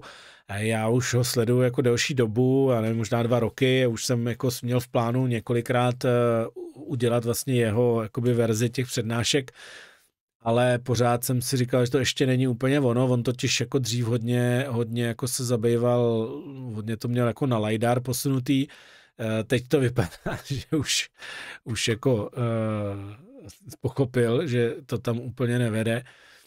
Ale nicméně eh, teď fakt má jako super zajímavou knížku, nebo i vlastně celou tu přednášku stavenou o to, kam se to lidstvo bude posunovat. Ale e, zase taky tam teď mu tam chybí třeba umělá inteligence, takže to já tam chci jako do toho zapracovat. To je taky jeden z důvodů, proč, proč to rozděluju, protože vlastně jemu tam chybí poměrně důležitý prvek eh, pro ten 2030, a to je ta umělá inteligence, takže, eh, takže eh, i z tohohle důvodu jsem to vlastně rozdělil. Tak tady bych chtěl poděkovat vlastně sponzorům tohohle streamu, nebo těchto těch streamů, což je úsporný balík CZ, kde můžete dneska objednat, zítra si u vás vyzvednu a pozítří doručej. A Highbike Morava, což je prodejce velmi kvalitních německých elektrokol, má obrovskou prodejnu z testovací tratí, určitě doporučuji se tam podívat. Takže jak jsem říkal, je to založený vlastně eh, na této knížce, ta jeho přednáška Rethink Humanity, to znamená, já jsem to přeložil jako listvo nově, Ono jako v češtině se tyhle ty vlastně strašně blbě překládají, eh, je to, jako by, mělo by to být něco jako zamyslete se nad lidstvem nově, a to taky jako krkolomně se to říká, ale eh, ve finále je to prostě na tom podívat se jako na to lidstvo jako z nového pohledu a eh, jak to dopadne vlastně v do budoucna s lidstvem. On tam popisuje vlastně, co to je jako narušení trhu, to je ten disruptor, že jo, tak tady se můžete podívat na, na fotku, kterou jsem vzal vlastně z Moravské galerie, což má být, myslím, pan Josef, eh, je to někde z roku 1900, eh, nebo ne, dokonce 1800 něco, myslím, že to je. A schválně se zkuste zamyslet, kdo z vás eh, máte ve svém okolí nějakého známého, který je ledař. Tohle je totiž povolání, který se jmenuje ledař. Tak by mě zajímalo, kdo z vás znáte někoho, kdo pracuje jako ledař. Velmi pravděpodobně asi nikdo takovýho neznáte, protože tohle povolání prostě už neexistuje. A to je v podstatě definice, definice vlastně toho narušitele trhu. Jo? To je, pokud nový produkt nebo služba vytvoří nový trh a značně omezí, transformuje nebo úplně zničí existující produkt, kategorii nebo odvětví. A to se přesně stalo vlastně tomu, uh, tomu ledařství, jo, těm ledařům, který prostě uh, přišli o práci. Jde o to, že eh, v podstatě tady v této oblasti jako toho narušení toho trhu, tak dojde k nějakému narušení rovnováhy. Eh, on na to právě vypracoval, ten Tony Seba na to vypracoval takovýhle, takovýhle pěkný, eh, pěkný jakoby graf, náčet, náčrt, nebo jakkoliv to budeme říkat. Eh, prostě, no je to vlastně graf, protože na, na jedné ose je časová osa a na druhé ose jsou schop, schopnosti. Jo. A tady vidíte, že na začátku je tady nějaká rovnováha toho trhu. Jo? Je to prostě, jako jde to rovně, jo? pokračuje to vlastně lineárně. Je tady rovnováha, která může být i stovky let. Jo? Jako třeba ty ledaři, tady byly opravdu stovky let. Jo? Ten let uh, působil vlastně tímhle tím způsobem uh, opravdu hodně dlouho. Jo? Bylo to prostě už od středověku. A prostě jednoho dne přijde někdo, kdo to naruší, tuhle tu rovnováhu. A tady v případě těch ledařů to byla lednice. Jo, ta lednice mrazáky, že jo, který narušili vlastně ten trh eh, těch ledařů. A co je jako zajímavé, je to, že uh, vlastně to přišlo z úplně jiného trhu. Jo? Je to vlastně elektr- elektrika, že jo? je to elektrický trh, je to vlastně cílený do, uh, do kuchyně, jo? takže Zatímco ty ledaři nosili ten led do sklepa, že jo, kde vlastně se ukládal jako přes, aby tam byl přes to léto a chladil vlastně ty věci, co byly v tom sklepě přes celý léto, tak vlastně najednou tohle se vlastně do ta lednice se díky tomu, jak funguje, vlastně do toho sklepa vůbec nenosí. Takže uh, vy najednou ten, ten narušitel toho trhu vlastně jde do úplně jiného segmentu, oslovuje úplně jiný uh, vlastně často zákazníky, jo, protože ta lednice se prodává přímo tomu koncovému spotřebiteli a způsobuje vlastně, způsobila úplnou jako revoluci vlastně v kuchyni, ve vaření, co, co si můžeme uchovávat, že jo, jak dlouho si to můžeme uchovávat, co si můžeme doma dělat vůbec, jo, můžeme si dělat milkshakey třeba doma, e, to dřív vlastně nebyly možné ty věci, které jako jsou možné dneska díky tomu, že máme lednice, že jo. Čili uh, vlastně ta, uh, ta nerovnováha, uh, která jako vznikne, tak je dost často způsobená nějakou konvergencí nějakých jako více věcí dohromady. Jo? To znamená, tady ta lednice by samozřejmě nebyla možná například bez toho, aniž by byla vynalezená elektřina. Jo? Takže předtím, než vůbec byla vymyšlená ta ta lednice, tak musela nejdřív být vymyšlená elektřina, musela být rozvedená do domácností, musela fungovat. Jo? Musela vzniknout, musel vzniknout třeba elektromotor, eh, z kterého se vlastně udělal, eh, který vlastně pohání ten kompresor, eh, který v té lednici je a tak dál. Takže musí tam být nějaká konvergence technologií na to, aby tohle to vůbec vzniklo. No a, takže určitě tady dám nějaký příklady vlastně narušitelů, který všichni vlastně bude, budeme znát.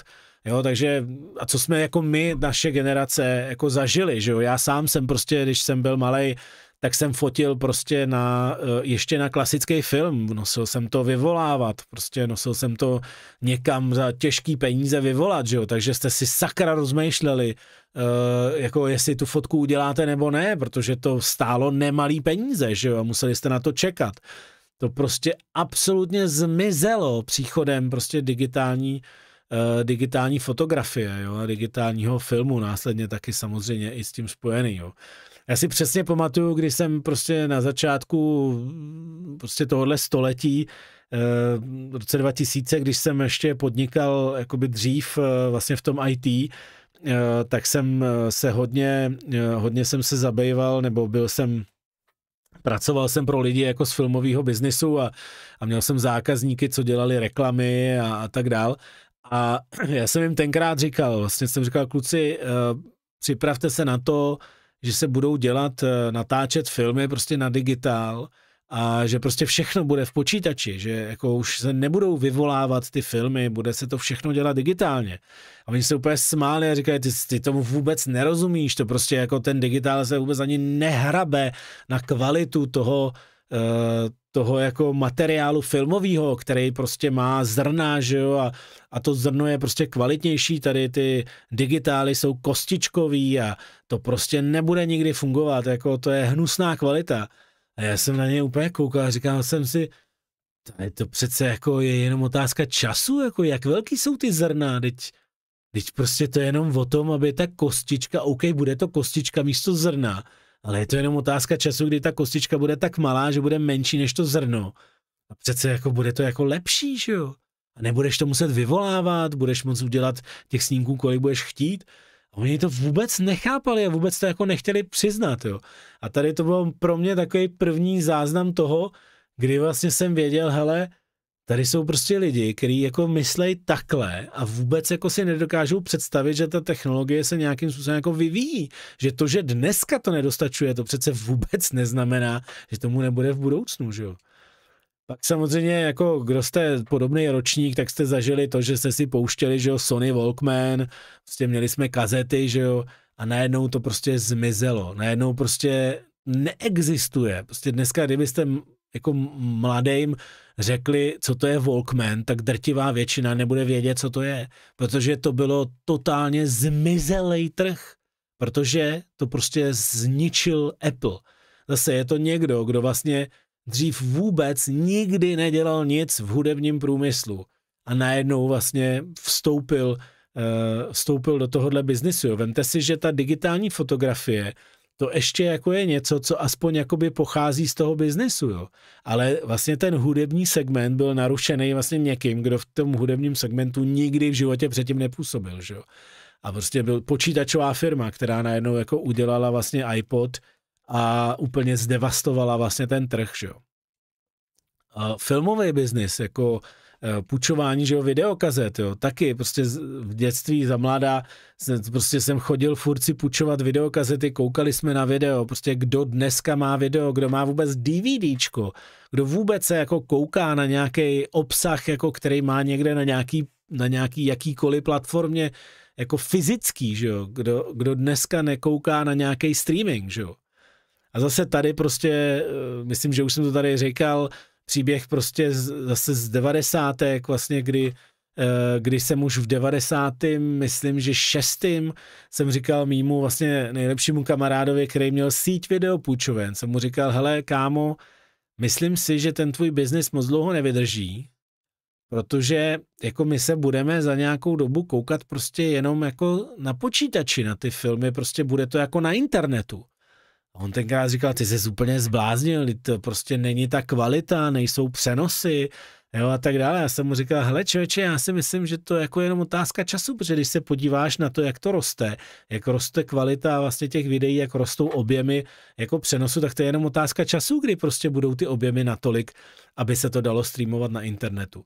Naštěstí Uh, a myslím si, že mi to do smrti nezapomene, uh, že mě poslech a v, ve správnou dobu uh, ty půjčovny prodal, když to ještě bylo jako na vrcholu a jako opravdu do dneška je mi za to vděčný, že, že vlastně uh, se mu ukázal, jako, že to může dopadnout jinak. Uh, pošta, že jo? Vlastně něco taky, co tady bylo stovky let. Kdo z vás si dneska posílá poštu? Jako kdo si dneska posíláme poštu, že jo? A zase, když jsem byl malý, tak z pionýrských táborů jsme posílali domů, že jo, dopisy, maminky na to čekali. Kdo dneska, jaký dítě dneska, který je na táboře, napíše nějaký dopis, jako nebo pohled, prostě, kdo to udělá, že jo?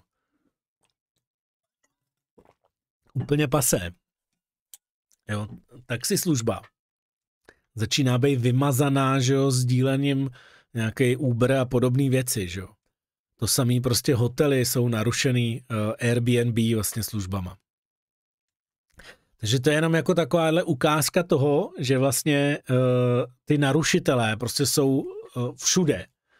A uh, je jenom o tom, jako si uvědomit, pro, promítnout si tu adopční křivku a uvědomit si to, že nastává nějaká změna. Tady máme ukázky adopčních křivek, které jsou uh, ukázané vlastně v pat, rozdíle 15 let. Jo. To znamená, že v 15 letech dojde k totální devastaci vlastně toho současného statusu quo nástupem nějaký nový technologie. Jo, takže tady jsou prostě nějaké ukázky, tady třeba video, o tom jsme si říkali, že jo, ten nástup toho digitálu a ústup toho fyzického, pak je tady třeba nějaký potraviny, kde jsou jako ty uh, modifikovaný, um, genově modifikovaný potraviny, nemodifikovaný, nebo nějaký tady špendlíky, Eh, který jsou vlastně udělaný z drátu nebo, nebo prostě odlejvaný a, a tak dále. Jo. Prostě jsou tady, jsou tady různý příklady, příklady vlastně různých odvětví, které dopadly úplně stejně. Prostě nástup nové technologie, S křivka prostě nahoru, stará technologie S křivka dolů. Čili vlastně přichází nějaký nový produkt, eh, jakmile se stane ta konvergence, umožní se ta konvergence a přichází nějaký nový produkt. Jo, tady kdybychom se vrátili zpátky tady k tomu našemu, vlastně k těm narušitelům, tak vlastně ten, ty foťáky, uh, že jo, tak i vlastně ty, uh, i vlastně třeba ten, uh, i vlastně ty písničky, jo, to, co vlastně vymyslel ten Apple, tak on sám byl vlastně narušený Spotify a podobnýma službama, že už vlastně se ani ty písničky se jako hodně lidí nekupuje, že jo, ani vlastně ty písničky, ani digitálně, eh, což byl jeden z těch věcí, který jakoby ten Apple přines. A vlastně začíná se poslouchat eh, nějaký streamovaný, ať už Spotify nebo i Apple Music, že jo, má teďkon. Jo, takže eh, i tady se vlastně stalo narušení, kdy tomu Apple zase ujel vlak, takže to, že je někdo narušitel v nějaké oblasti, tak to neznamená, že jí bude na furt, jo, prostě o to může taky přijít velmi jednoduše. Jo, tady třeba uh, mail vlastně už začíná upadat a nový generace už si neposílají ani maily, už prostě jedou jenom instantní message, jo. A ve finále vlastně tady, eh, když se vrátím k tomu foťáku, tak eh, v podstatě i ty foťáky digitální už jsou taky narušený, protože drtivá většina lidí prostě používá foťák mobil, že jo? a ten je narušitel vlastně toho, toho fotografického biznesu, že jo, a ten upadá. A podstatě vlastně ten hlavní narušitel byl právě ten smartphone, protože on je ten, kdo většinu těchto těch věcí vlastně umožnil. Jenom díky příchodu vlastně smartphonu, eh, který přines vlastně Apple 2007, tak od té doby se teprve datují všechny tyhle ty změny a všechny tyhle ty, nebo se akcelerují vlastně všechny tyhle ty změny a díky tomu, že vlastně máme všichni v kapse internet a můžeme dělat tyhle ty věci, můžeme mít aplikace uh, dostupné vlastně v mobilu, tak díky tomu je tady vlastně tato narušení toho trhu. A to právě umožnila digitalizace, která uh, díky vlastně Můrově zákonu a dalším zákonům uh, umožnila to, že vlastně přišel tenhle ten, uh, tenhle ten rok, kdy přišel ten smartphone. A to díky tomu, že vlastně Můrův zákon je, že, že CPUčka, to znamená výpočetní výkony, že rostou vlastně dvojnásobně každých 18-24 měsíců. Ale i úložiště vlastně to zase se snižuje jeho náklady, to znamená cena úložiště se snižuje o nějakých 60% každých 18 měsíců. Uh, ty kamera že jo, a videokamera, zase tak jejich body, t- ta cena vlastně za ty body, uh, jo, to, za tu hustotu těch bodů se snižuje zase o 60 nebo no, o 60% vlastně za rok. Síťová propustnost, to je zase to právě ten přenos dat, tak eh, zase taky se snižuje vlastně o půlku za každých 9 měsíců. Takže všechny tyhle ty, eh, tyhle ty věci kolem, kolem digitalizace způsobily, že vlastně eh, příchod toho smartphonu v tom roce 2007 způsobil, že za 9 let, za 9 let byla penetrace smartphonů 81%. Jo, to znamená, od té doby, co přišel na trh v roce 2007, tak za 9 let měl smartphone 81% podíl na trhu. To je prostě neuvěřitelný. A to, co je zase něco, co spojuje vlastně všechny tyhle ty narušení, je to, že v drtivé většině ty experti se mílí experti, média, všichni, kdo tomu jakože rozumí, tak většinou nepředpovědí právě ten příchod uh, této jako revoluční technologie. Jo? Ať už je to tady prostě třeba Steve Ballmer, prostě, což eh, je bejvalej, asi tušíme to proč, šéf Microsoftu, není šance, že iPhone získá nějaký výrazný podíl na trhu nemá prostě šanci. Mimochodem on i řekl, že a smál se, když to říkal, že kdo by si chtěl koupit telefon za 600 dolarů nebo 1000 dolarů, který neumí MMSky, jo. Je velice důležité, aby očekávání od, od internetu byla, uh, nebyla vysoká. Celkový počet uživatelů je velice malý. Bill Gates, rok 1994. Mimochodem, tohle je jedna z věcí, kterou on sám Bill Gates sám sobě vyčítá jako jednu z největších chyb, kterou kdy v životě udělal. Protože díky tomu, jak on podcenil příchod internetu, tak vlastně Microsoft zaspal uh, příchod eh, webového prohlížeče a do dneška vlastně už nikdy nezískal zpátky dominanci uh, v tomhletom segmentu. Takže byť máte vlastně Microsoft Windows, tak se vsadím, že nepoužíváte jejich Edge, ale že většina z vás má nainstalovaný nějaký jiný prohlížeč, drtivá většina pravděpodobně máte Chrome. Uh, takže tady vidíte, že vlastně byť ten Gates uh, jako měl tu šanci i potom to napravit, tak už to nikdy nevrátil zpátky. A vlastně uh, ztratil jako tenhle ten segment jako úplně. Dopad iPhoneu bude minimální. Líbí se pouze geekům. Nokia a Motorola se nemají čeho obávat. Bloomberg 2007. Nokia a Motorola už se tímhletím biznesem nezabývají, milý Bloomberg. Takže tady to je jenom jako ukazuje se a tady máme krásný echa se nám objevujou, že jo, dneska s elektromobilitou, kde se všichni e, najdeme jako v tom, jak, e, jak vlastně většina právě hejtrů a a odborníků, jako říká, jak eh, elektromobilita nedává smysl. I když jako upřímně řečeno, myslím, že mi dáte zapravdu, že už se to začíná jako měnit, že už to začínají jako vidět a už to není tak hrozný, jako to bývalo. Um, no a tady se dostáváme teda k té elektromobilitě, kde Tony Seba vyhrabal v archívech uh, tyhle ty záznamy nebo fotky, kde je vidět New York City, uh, 5. Avenue v roce 1900 kde vidíte, že je uh, prostě fotka, kde celá ta ulice, tak jsou vlastně dročky a je tam jedno jediný auto. V roce 1900 vlastně mezi celou tou Fifth Avenue je jedno jediný auto, jinak jsou to samý dročky s koněma. No a pak je tady fotka z roku 1913, opět ta samá pátá Avenue v období eh, Velikonoc a vidíte, že 13 let později, tak už jsou tady jenom samý auta a jedna jediná dročka s koněm. Takže z koně do auta se můžeme podívat, že od roku 2010 do roku 2020 se vlastně trh z nějakých 11% dostal na 81%. Za 10 let se dostal ten trh z 11% na 81%. A to prosím přes tyhle ty výzvy, kdy se muselo budovat dva průmysly, a to automobilový a ropnej, protože tenkrát nebyl na té úrovni, aby všichni mohli jezdit autem.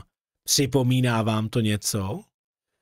budování nové infrastruktury, protože nebyly hotové silnice, aby těm mohly jezdit auta. Nebyly postavený benzínky, aby ty auta tam mohly tankovat benzín. Nepřipomíná vám to něco?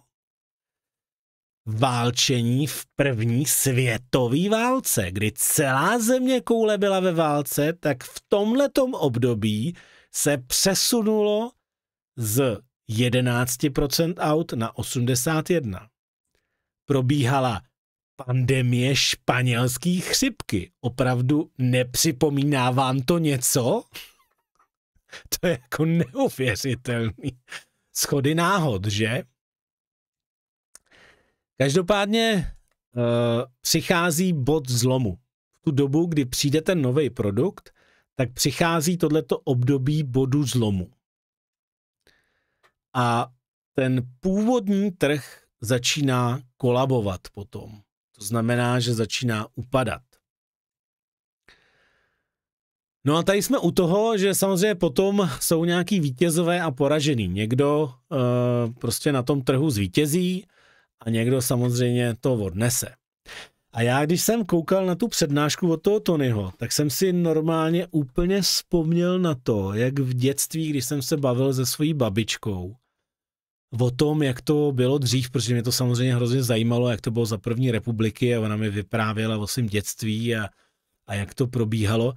A jedna z věcí mě totálně šokovala, když mi řekla, a já si přesně pamatuju, jak jsem si v tu dobu jsem si najednou říkal, že z té babičky, která pro mě byla prostě jako nějaký vzor, jako někdo, kdo prostě zažil něco a kdo, kdo mi tady vypráví tyhle ty věci, tak najednou se v mých očích stala totálním barbarem. Já jsem to nedokázal pochopit. A bylo to to, že ona mi řekla, že v dětství jedli hodně koňský maso. A já jsem si říkal v duchu, jaký hrozný barbar ta babička byla, že tohleto nádherný stvoření, který je tak inteligentní, jak ho mohli jíst, jak mohli být takový barbaři dřív, že jedli koňský maso. A při té přednášce Tonyho mi to došlo. Vášení přátelé, budeme se divit, ale ono tady opravdu muselo být hodně konňů, když se dřív místo aut dopravovali všichni koňmo. A je to docela logický, ale muselo se s nima něco udělat. A samozřejmě velmi logicky, když už nebyly potřeba na dopravu, tak jako jasně, některý se z nich stali mazlíkové, někdo si je i dneska. Máme tady sousedky, který jako mají koně, máme tady i u nás ve vesnici máme koně, ale jako rozhodně jich není potřeba tolik, aby všichni s nimi jezdili, že jo. No, takže skončili na jatkách hold prostě ty poražení to neodnesou úplně dobře. No a potom, ale na druhou stranu, ten, kdo má ten úspěch, tak vlastně akceleruje po S křivce. Ale co je důležitý zmínit je to, že na rozdíl od roku 1900 my žijeme v roce 2020.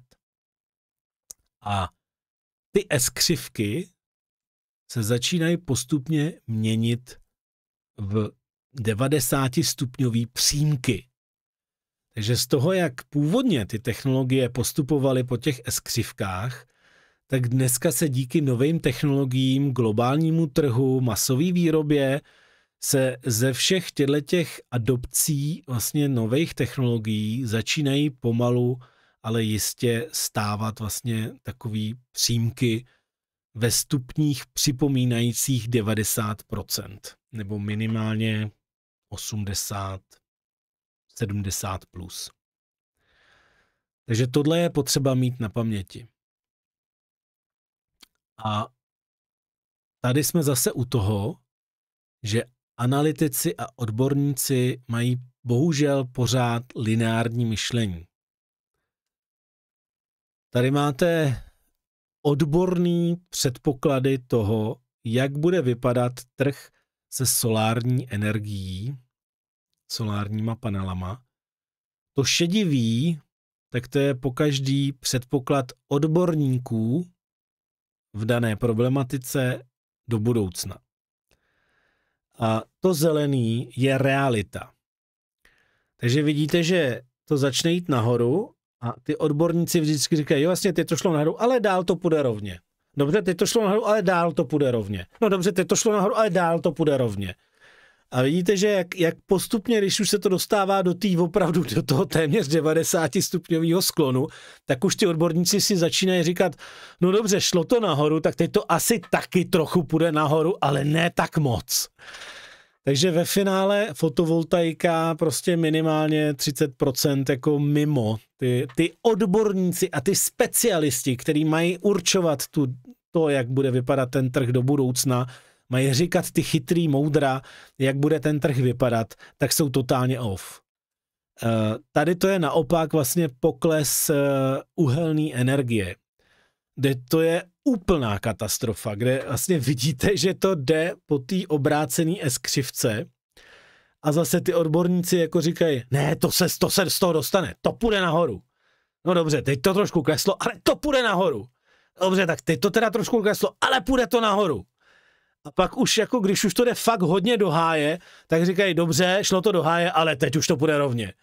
Jako kdyby to mělo jít rovně až do nekonečna. Prostě už od teď až do nekonečna furt bude stejná spotřeba uhlí. Je to jako až neuvěřitelný, když se podíváte na ty grafy, že mně přijde, že ty, kdo ty grafy jako dělají, takže snad vůbec nekoukají do historie, nekoukají na nějaký trendy, nebo já tomu prostě nerozumím. Takže tady v tomhle tom jsou teda úplně off. A Tony vlastně tohleto velmi dobře jako právě uh, přirovnává k tomu, že ono to je, jako vypadá to, že vlastně jako kdyby si ty odborníci vlastně koukali nějakým tím dalekohledem, který vlastně vidí jenom takhle, že jo, a jak kdyby neviděli vůbec to, co se děje kolem. Že jsou schopní vlastně dělat ty predikce jenom z bodu A do bodu B, ale vůbec nevidějí vlastně, co se děje kolem a tím pádem nejsou schopní predikovat vlastně tu, tu budoucnost. Ono je to prostě o tom, že oni vyhlížejí toho rychlejšího koně. Jo? Když bychom byli v tom automobilovém nebo v té dopravě, kdyby jsme byli v té dopravě, tak prostě doteď se jezdilo koňma. A ty koně prostě táhly dročku, takže kdy teda bude vyvinutý ten rychlejší kůň? Jestli se to udělá nějak geneticky, nebo se mu přidá další dvě nohy, jo? Že vlastně ty odborníci nejsou schopní jako vidět vlastně tu změnu, která se stane úplně od jinu, jo? Prostě automobil s koňma nemá vůbec nic společného, nemá žádný ani nohy, má prostě kola, že jo. Takže to je ten problém, že vlastně ty odborníci jako nevidějí tu změnu, co přichází. No a tady potom, třeba když se podíváme na taxíky, tak eh, tady to jsou zase data vlastně z příchodu potom ridesharingových služeb, jako je Uber, Lyft a podobně. A opět tady krásně vidíme ten nárůst prostě po té, to už ani fakt není S křivka, to je přímka, nárůst po té přímce a jako pokles vlastně těch služeb uh, zase po té jako obrácený S křivce, jo. Ale tady vidíte ten nástup, který vlastně k tomu bodu zlomu došlo po dvou letech. Dva roky trvalo, aby v New Yorku Eh, se vyrovnal objem vlastně mezi taxikama tradičníma a mezi těma těma ridesharingovými službama. A vlastně za víc než dva roky už se obrátil tenhle ten poměr, že bylo víc těch ridesharingových služeb. Ale co je strašně důležitý si uvědomit, tak je to, že s příchodem těchto těch ridesharingových služeb ve městech, kde se otevře Uber a podobné služby, tak poklesne veřejná hromadná doprava o 20%.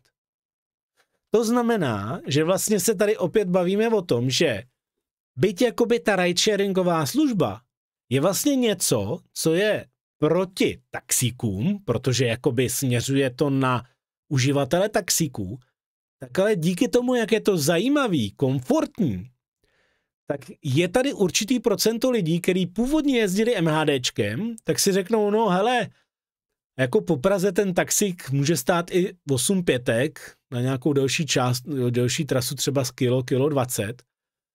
Tak jako já si připlatím místo toho, abych si platil 32 korun, že jo, nebo kolik to dneska stojí, že jo, to MHDčko, tak já si dvakrát připlatím a prostě svezu se radši taxikem, nebo třikrát, jo protože prostě nebudu s nějakýma homelessákama třeba, dám příklad, jako v tom metru, nebudu s nějakýma spraďochama, budu sám prostě ve svém taxiku a prostě sežere to, sežere to vlastně ride sharing, jo. Já, když jsem na vejšce, jako ne, už jsem to teda zrušil, protože na to nemám, nemám prostě absolutně čas, ale když jsem, když jsem ještě ved uh, práce, uh, vlastně eh, bakalářský a diplomský, eh, tak jedna studentka, která dělá eh, v, ve veřejných službách vlastně města Prahy, tak měla diplomku, kde právě jako měla jakoby srovnání konkurenci a měla tam, měla tam vlastně to, jakým způsobem, jakoby, co jsou jejich hrozby a tak dál. A vůbec tam neměla jako uvedený ani Uber, ani umělou inteligenci, že jo.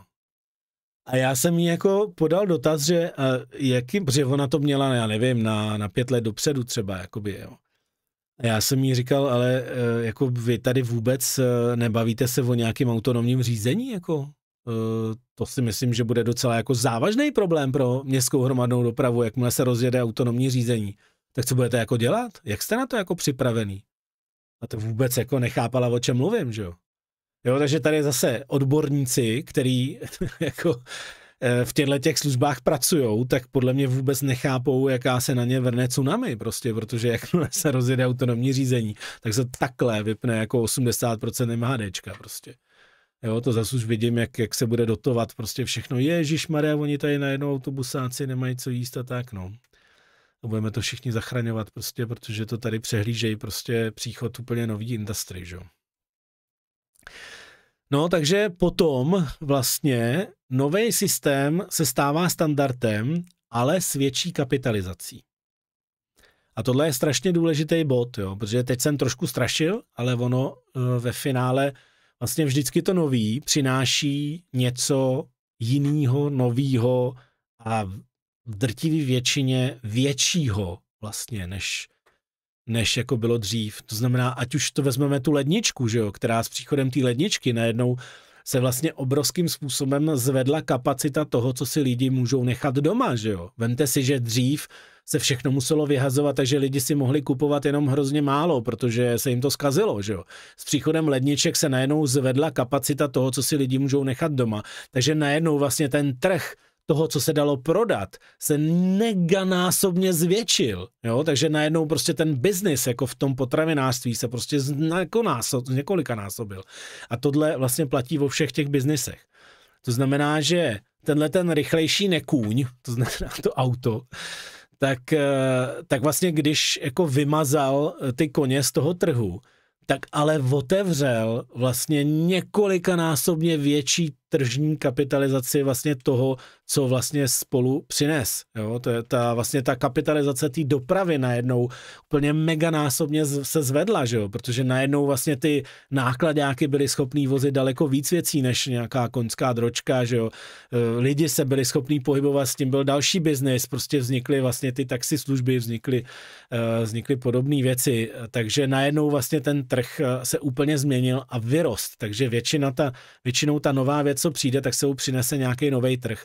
Bohužel ty, to levicové myšlení je o tom, snažíme se zachránit prostě ten, ten stávající trh, pumpují se do toho peníze, že jo, místo toho, aby se ty lidi uh, prostě pustili, aby se ty, aby se vlastně ty biznesy nechali zkrachovat a vlastně přesunuli se ty lidi do toho segmentu, který je ten nový, který se vytváří, kde právě naopak jsou potřeba ty lidi a, a ty biznesy, tak prostě se to většinou nechává, jako drží se to a to je jako velký problém. No. Mimochodem, teď jsem poslouchal krásný podcast vlastně Lexe Friedmana s takovým jedním, uh, jedním ekonomem, který tam přesně o tom mluvili, že to je uh, bohužel obětí demokracie, protože vlastně vy máte jako nevyčíslitelnou, uh, když vy vlastně někoho zachráníte, jako tím, že jakoby zachráníte ho, že se nestal průšvih, tak vlastně to je jako naprosto nevyčíslitelná věc, takže v demokracii za to nikdy nejste pochválený. Eh, když to naopak, pokud se stane nějaký průšvih, tak to odnesete a už vás nezvolej. Takže to potom vede k tomu, že vlastně všichni se snaží ochránit před těma průšvihama, ale nikdo se nesnaží řešit to, co by vlastně pomohlo proti něčemu ochránit.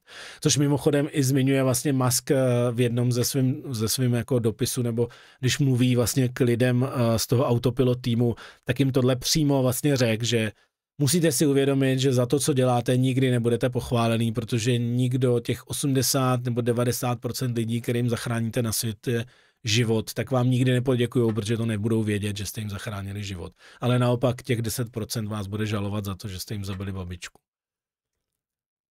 Takže transformace toho biznesu.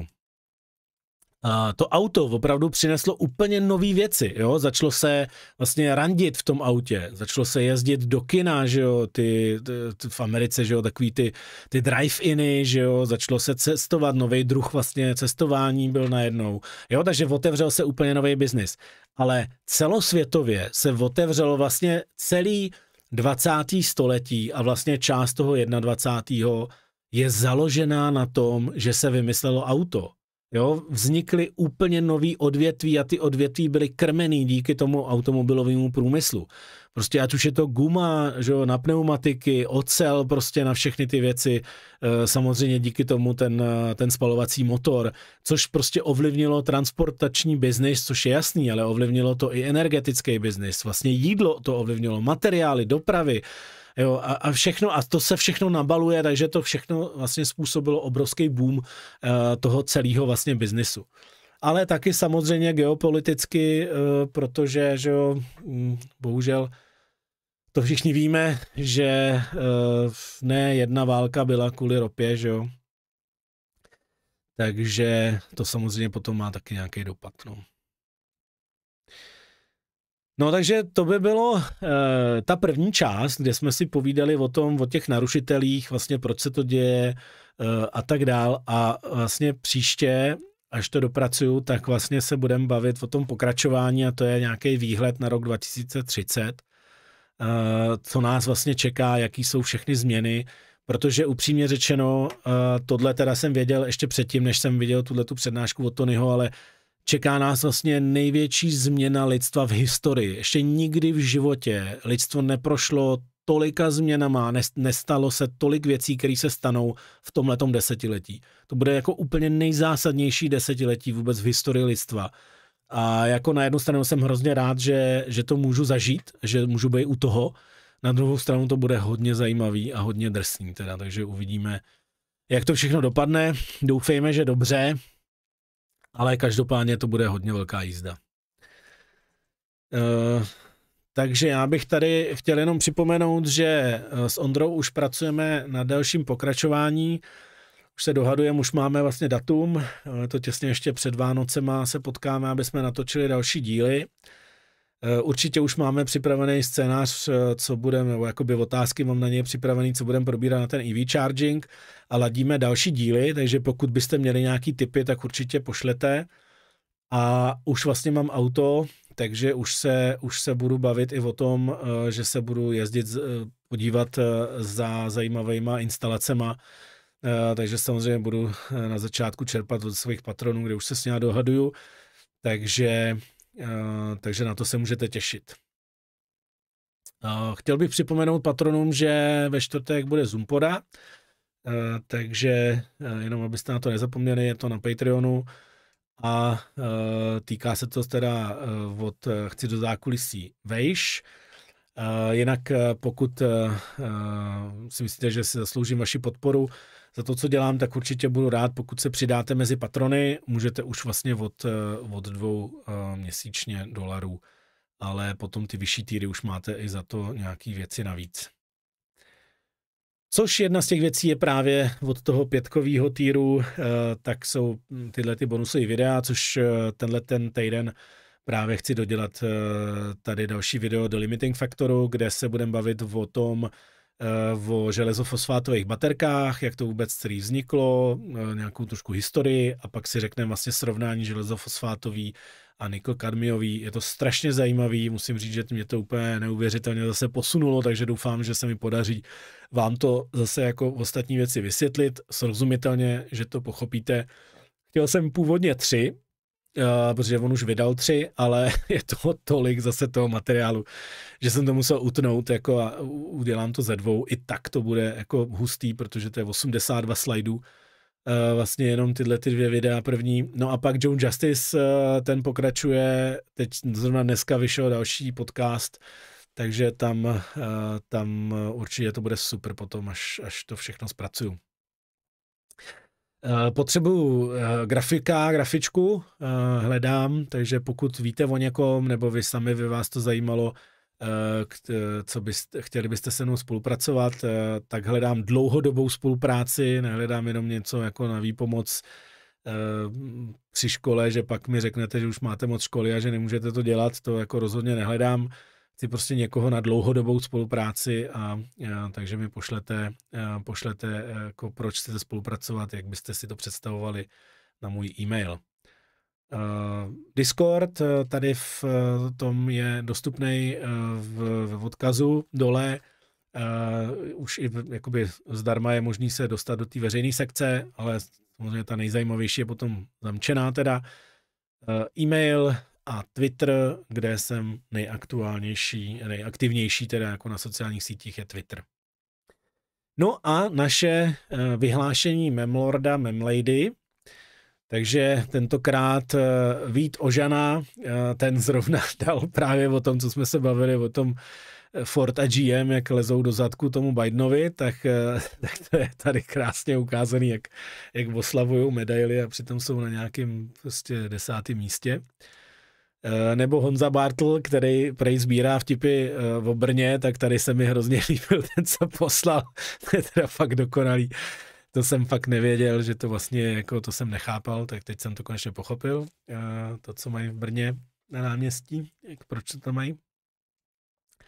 A uh, Martin Kříž, tak tohle se mi taky líbilo, když je na tebe naštvaná, ale furt tě miluje. Tak doufám, že tohle jednou nebudu mít na Tesle, teda od mýho miláčka. Ale myslím si, že ne, že to je velmi klidná. Takže, čekat, kde to je? Tady zapnu, zapnu tady uh, hlasování a jdeme na to.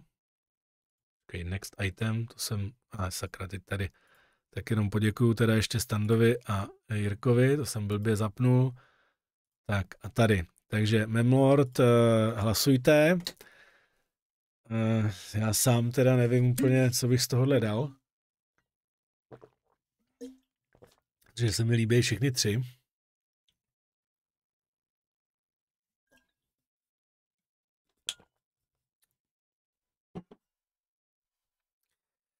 Ale asi dám toho Martina, protože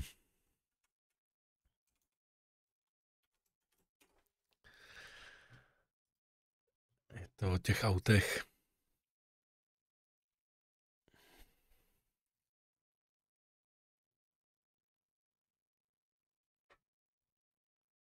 Ty jo, zase nějaký strašně vyrovnaný.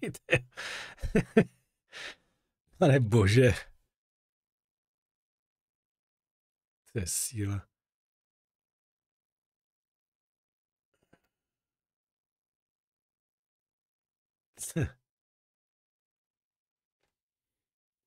No ale vypadá to, že začíná vyhrávat Vítek.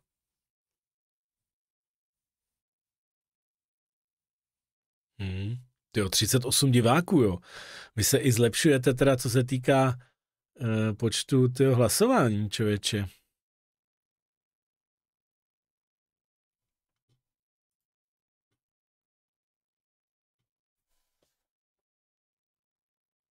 Hmm, 39. Ale e, tak to vypadá, že je asi dohlasováno. Už to tam moc neleze. Takže evidentně, jo, hele, tyjo, teď se nějak ještě probudili fanoušci Honzy. teď je strašně napínavý. První místo Vítek, tyjo, 38%, druhý místo Honza, 35% a třetí místo Martin, 28%, tyjo, to je teda sakra, sakra těsný, tyjo.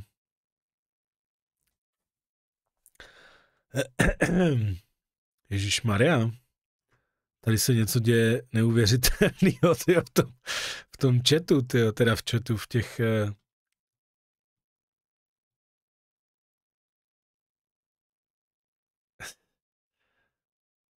Martin překrytý anketou není vidět, co tam je, no.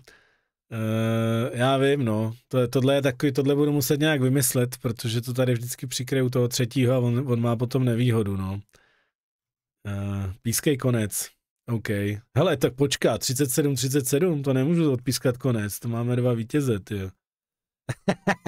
Takže Honza, jo, ale ty oba dva, jak Vítek, tak Honza už to vyhráli, ty jedno. Já jsem myslel, že by mohl vyhrát ten Martin Chudák. ale jo, Honza to asi vyhrál, no. Ty jo, tak Honziku teda, tak si vyhrál po druhý, no, ale tak ty už máš ty už máš z minula tohle, já jsem ti to ještě neposlal, teda pošlu, ale budeš tam mít od toho, uh, od, ode mě takový trošku takový vánoční dáreček, jako přibalený teda za to. Jsi vyhrál dvakrát. Tak jo, takže děkuji za hlasování.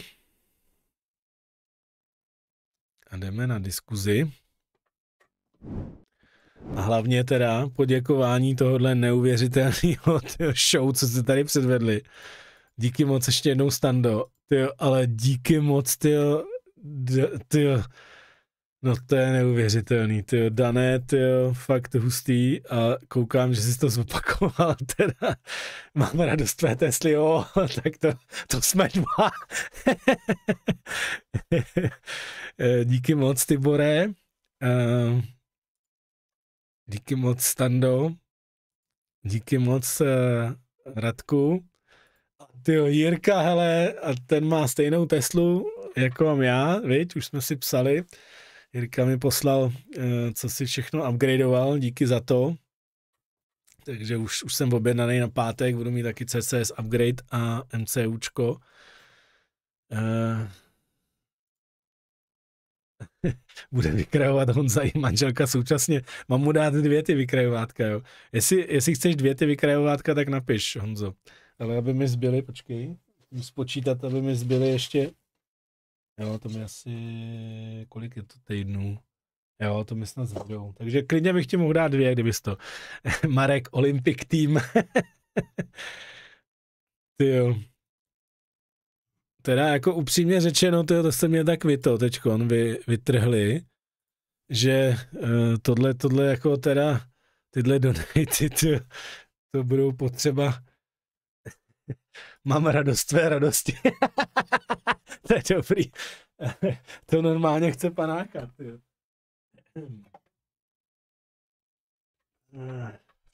Já se podívám, jak jsme na tom, je, hele, tyjo, zrovna je 10, tak to jsem prošvih konec, konec uh, toho, jak to skončilo Tesla, 108, no kolik to je?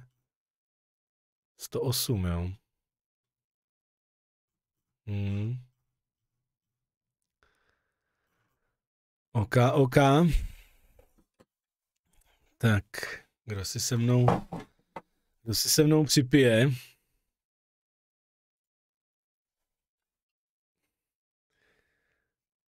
Eh. To je mimochodem slivovice dárek od, uh, od vládi. Děkuju moc za to, je fakt vynikající. Je jako upřímně řečeno, také, dlouho slivovi, také dobrou slivovici jsem jako dlouho nepil. Musím říct, že se dá jako vypít opravdu i, i jakoby hodně, bez toho aniž by druhý den bolela hlava. To se jako málo vidí. O, díky moc, Stando, za podporu. Jo, fakt díky, teda, to jako tentokrát jsem zase teda, uh, tenhle stream jsem se připravoval víc než vlastně, víc než dva dny, no, jako na tu prezentaci, uh, takže takže díky, že jste to ocenili teda, nebo jestli to bylo za to, nebo za to auto, to nevím, ale, ale jako určitě potěší, no, protože na tomhle jsem ležel jako dlouho na té na tý prezošce. Já se tady podívám ještě uh, do komentů. Takže díky teda na vás. Vám se mám teď nezničil uši poštu. Posílám do mohníku. Tak teď nevím. Data do počítačů, kazeta, disketa, CD, cloud. ano, přesně tak. Většina mladých neví povydat souvislou větu na tož ještě, aby napísali e-mail ještě i ty instant message často píšu po slovách, no a ještě, ještě s chybama, že jo. No tak za 20 dětí nebudou vědět, co je to taxikář a řidič. E, no jasně, no, za 20 let asi si chtěl napsat, e, nebudou vědět, co to je řidič nebo taxikář, no. Ale zase na druhou stranu, všimněte si, jak je hrozně vtipný, jak vlastně ty telefony dneska, všechny, když necháte zapnutý zvuk a vy fotíte, tak to udělá zvuk u závěrky, že jo? Závěrky prostě toho foťáku, který to dávno nemá, že jo? Takže to by mě zajímalo, jak dlouho bude trvat, než vlastně se tohle to úplně zmizí, protože jako podle mě můj kubík se mě jednou zeptá, Tati, proč ten telefon dělá takový divný zvuk, jako když to fotíš, jako co to je za zvuk, že jo? A já mu budu muset říkat, no Kubíku, to kdysi si představ, že nejhorší je, že já už tady asi, já už asi ani nemám, tyjo, fyzický foťák, tyjo. Tyjo, to mě docela mrzí, já měl takovou dobrou zrcadlovku, jsem kdysi dal tchýni blbec. Edge používá úplně každý na stáhnutí chromu. Jasně, no, to je pravda, no. Bacha třeba smartphone měl křiv, tu křivku 8 let proto, že jeho životnost je 3 až 5 let, ale auto má životnost z pohledu automobilky třeba 8 až 12 let, reálnou třeba 20. Um, ehm, to je pravda, Jirko, jenomže uh, ve chvíli, jakmile se rozjede autonomní řízení, tak, uh, tak vlastně tohle nebude pravda, no, protože uh, jako to autonomní řízení vyzmizíkuje prostě hroznou, hroznou spoustu aut jako za velmi krátkou dobu. Samozřejmě i přesto bude nákup S-křivky masivní, ale asi nebude rychlejší než S-křivka mobilu. Prostě auto má extra dlouhou životnost eh, v porovnání s Windows mobilama. Jasný, Uh, jasný, ale uh, to, že GM, uh, který ho tak jako řiťolezuje Biden, říká, že v roce 2035 bude mít 50% elektromobilů, je prostě totální jako nonsens, jo? to asi víme všichni. Jo, jako 50% elektromobilů, jako v nejhorším případě 50% bude 2025 já si myslím, že to bude 80% bude elektromobilů a to bude právě proto, že nastanou dvě věci. My se o tom budeme právě bavit potom eh, v tom dalším díle, ale eh, prostě nastane to, že eh, bude vlastně totální jako propast v prodeji těch spalováků, ale bohužel nebude dostatek ještě elektromobilů. Takže ono to nebude o tom, že by těch elektromobilů bylo tolik víc, ale prostě lidi si to nekoupí protože to nebudou moct uh, sehnat. Ale už na druhou stranu nepůjdou do toho spalováku, protože jim bude jasný, že by to byly totálně vyhozený prachy. Budeme... Budeme jíst tropáky, ty. Mimochodem, eh, dneska jsem se o to vybavil s manželkou, počkej, co já jsem jí to říkal, že jsi tam něco někde psal. Jo, já jsem se nějak začal smát, něco, co si napsal na Discord. A ona říká, co je? Já říkám, no, Tibor tady zase něco napsal. A ona, no, Tibor, to je takovej, jak má to řekla, to je takový filuta, nebo ne, takový, takový vtipálek, jako no, tak se docela trefila, no. Uh, parazit, tak 50 roků se děti budou čudovat, jako jsme mohli používat pozostatky dinosaurů jako palivo. No, to je pravda. Nejenom jako palivo.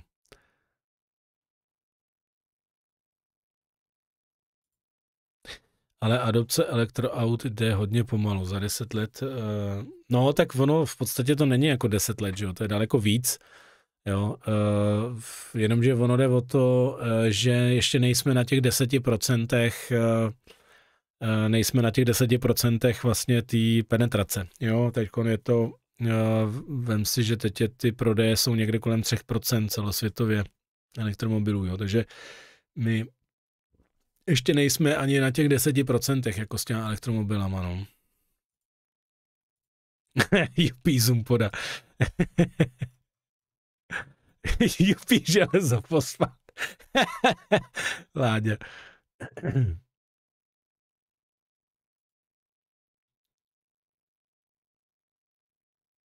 Ježíš Maria, tak to se moc omlouvám, no. Tohle, tohle je něco, co jsme, co jsme neprošli, uh, co jsme neprošli s mým korektorem, uh, který se mi dobrovolně přihlásil, že mi korektuje uh, slajdy, tak to jsem opravil po tom, co mi to skorektoval a evidentně jsem v tom zase udělal chybu.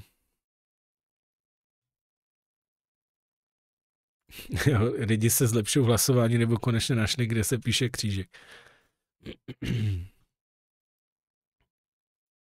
Jedno stačí leda, abys měl Audi. OK, dobře.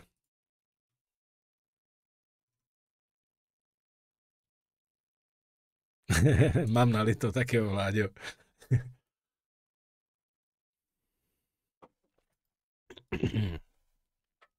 Tomáš píše, prezentace byla super, těším se na pokračování. Co se úložiště týká jako ajťáček, jak vidíš, NAS versus cloud. Určitě cloud. Nás je a prostě taky pasé, no. Hlavně až, až konečně bude pořádná konkurence v těch cloudech začnou uplatňovat eh, eh, těch, eh, těch 60% za, za 18 měsíců, nebo kolik tam bylo, jako slevu, tak si myslím, že prostě už nikdo nebude potřebovat nic jiného. No. Že ono, ono totiž v reále vlastně všichni ty cloudoví provideři, kdo dělá IT, tak to moc dobře ví, tak oni přesně na tohle to hrajou, že jo. Uh, oni ti spočítají vlastně cenu uh, za nákup uh, v tu chvíli, kdy ty to kupuješ. Uh, a která je ještě ke všemu jako pře, přemar, přemrštěná, že jo, protože samozřejmě jakoby počítají s tím, že to budeš mít na, na delší dobu, anebo je to služba, což je úplně úlet. A ty vlastně v tu dobu, kdy to kupuješ, tak si to jakoby spočítáš to TCOčko a říkáš si OK, tak já do toho jdu Jenomže od té doby, kdy to začneš platit, tak vlastně pořád se to neustále jenom snižuje, že jo, ta cena toho vlastně za, za, za ten terabyte, jo. Takže správně by ten cloudový provider ti měl buď to neustále zvedat kapacitu za stejné peníze, anebo by ti to měl zlevňovat, že jo. A jako velmi málo z těchto těch dvou věcí se děje. A až se tohle začne dít, tak prostě nasy úplně zmizej, jako, že to je prostě jako jednoznačně lepší ten cloud. A je i bezpečnější, pokud máš dobře udělaný dvoufaktor, tak vždycky ten cloud bude bezpečnější, než mít u sebe nasku, kterou ti někdo breakne prostě přes nějaký tvůj neochráněný připojení. Ikona na uložení bude asi navždy floppy disk. jo, to je taky dobrý bod, teda no, to je taky dobrý bod. Tady v Rakousku to pochopili, v loterii mají elektroauta, spalovák by byl za trest.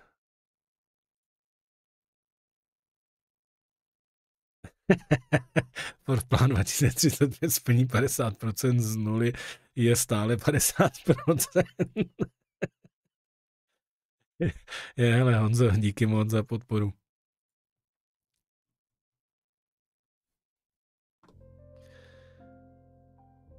Tak. Pan Filuta, hele, alkohol, autonomní řízení dávají smysl. tak na to si připijem. Hm. Já si myslím, že taková moje predikce je, že autonomní řízení bude přesně ten spouštěč, kdy český Pepík začne mít rád elektromobily. Jo, kdy prostě ta česká jako naše natura, ty hejtři a ty prostě, jak říká, jak ta elektromobilita je na hovno a tak, tak jakmile ho to auto odveze samo z hospody, tak najednou to bude ten nejlepší mazlik na, pod sluncem, jako to se vsadím normálně.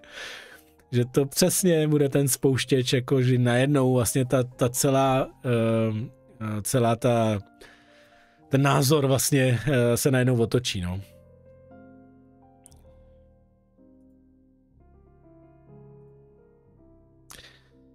Ale ono to je, eh, to je, myslím, že prodej, ne? To myslím, že to byl prodej. Hybridy, jasně no, hybridy počítáme, no. Vládě, já už dávno pochopil, že je to kvůli slivovici vytvořený.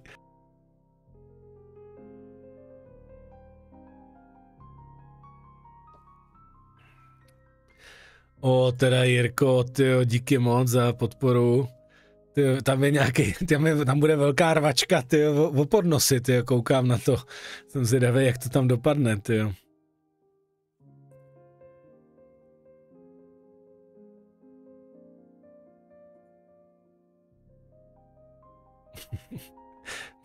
Moje milá Škodovka, odvěs mě domů s krčmi, tyjo.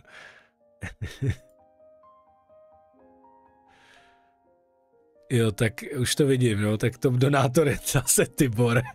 Ten si to tam pohlídal. Taky se dneska neperu. Vláďo.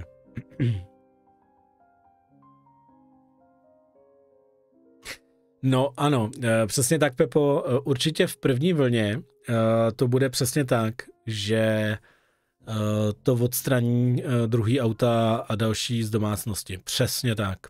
A ty, co mají barák, a speciálně, jakmile bude kombinace vlastně z toho vehicle to home, tak to bude mega dávat smysl, že vlastně ty, co budou mít fotovoltaiku a barák, budou mít auta a mm, ty, co budou na sídlištích, tak prostě auta mít nebudou, protože tam to smysl dávat nebude. Jenom ty samozřejmě třeba movitější, tak ty si to auto třeba můžou nechat a budou ho mít jako vehicle tu sídliště, třeba zase jako pro podporu prostě toho gridu, no.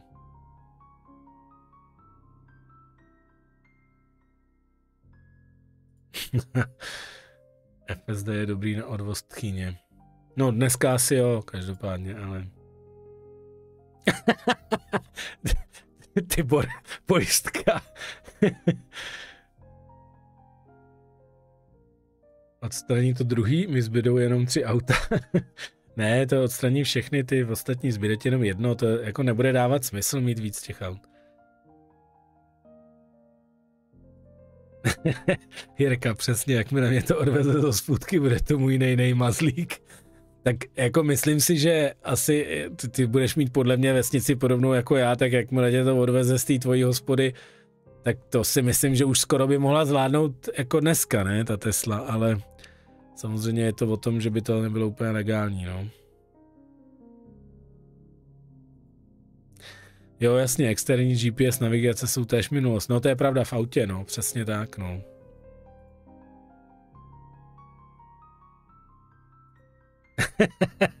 Už mě to nechce pustit překonat Tibora. Máš limit na kartě, ty.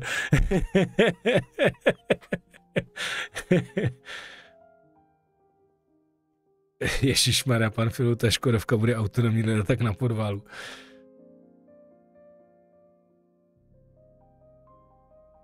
Mm, Honza, na kolik přijde výměna baterií v Tesle? Hele, eh, to, co psal Musk, je, že by se neměla měnit jako baterie, což dává smysl, to by nedávalo takový úplně smysl měnit jednu baterku, ale uh, měnily by se uh, ty články nebo těch, ty, ty bloky a to by mělo být nějakých 5 až 7 tisíc dolarů, co, co jako říkal, ty, ty vadný vlastně uh,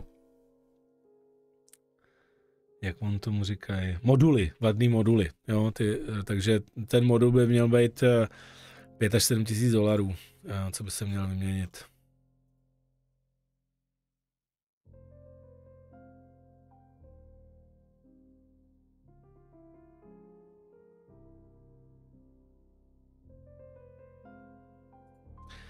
Když bude autonomní auto a i nabíjení nebude problém elektrický auto mít v městech. No to každopádně, jenomže tam jde o to, že prostě je to furt jenom o těch penězích, jo? že ty si potom řekneš, jako proč bych to auto měl vlastnit, když si ho kdykoliv můžu pronajmout za tak menší peníze, že jo? jo? Je, to, je to ten mindset, samozřejmě ta jakoby naše generace a starší tohle už jako asi nevezme a prostě pořád tady bude hodně lidí, kteří prostě budou chtít se ukázat s tím bavorákem, uh, jako t- před těma sousedama, takže, hm, takže prostě budou chtít mít to auto, ale ta mladá generace už taková není ani dneska. Jo? Ani dneska už prostě nejsou takový, že by jako potřebovali mít prostě auto, že by vůbec si třeba dělali řidičák, jo. A tyhle ty prostě, to už jako mimo, no.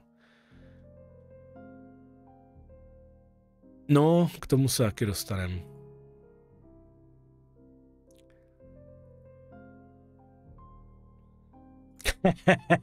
No to mimochodem, eh, to mimochodem právě je taky jeden, jeden vlastně z možností právě toho, jak jsem říkal, že vždycky ta nová věc otevře nějaký nový biznis, tak tohle je přesně jedna z věcí, která se odhaduje, že se stane. Jako to není jako, že pan Filuta píše, že to už můžou být rovnou pozdní autonomní hospody, ale to není jako, to není for, to, to se opravdu stane, jo? že budeš mít vlastně tak, jak máš dneska třeba nějaký tramvaje, občas jezdí, že jo, ve kterých se dá chlastat, tak budeš mít nové basy, ve kterých se bude moc pařit a jako for bude v tom, že ty budeš jako pařit a mezi tím se dostaneš z místa A do místa B, že jo. Takže to bude jako by dva v jednom, že jo, to bude prostě úplně boží, jako no.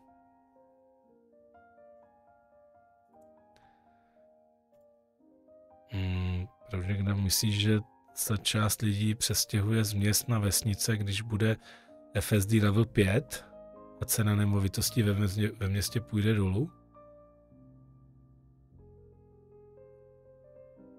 Uh, no, tak ono jako upřímně dneska vlastně s covidem a s tím, jak se změnil svět, tak si myslím, že tohle už se podle mě bude dít už teď, jo, protože dost jako firm začíná přecházet eh, na home office a, a vlastně jakoby jezdit do práce už začíná být trošku starší pojem, jo.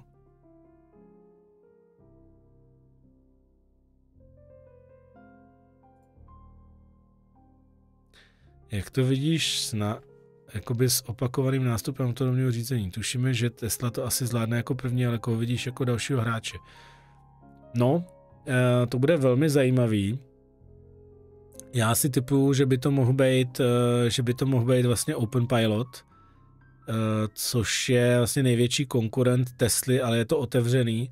A v podstatě se velmi pravděpodobně stane to samé, co se stalo v mobilech, to znamená, že bude jakoby uzavřený systém uh, Tesla, což ala Apple, a otevřený systém, uh, což bude vlastně Open Pilot, uh, který je ala jako Android od Google. No.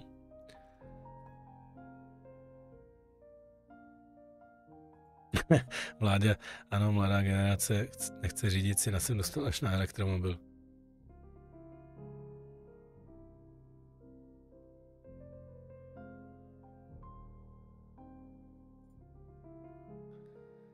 Moskova cena kdysi měla být 100 kWh na PEC, čiže 50 kWh je 5000 dolarů, mm, což jakoby je 7000. No takhle, uh, ono už dneska Tesla uh, má ten pravděpodobně ten PEC za 80 uh, eh, dolarů. Takže jakoby teoreticky ano, no.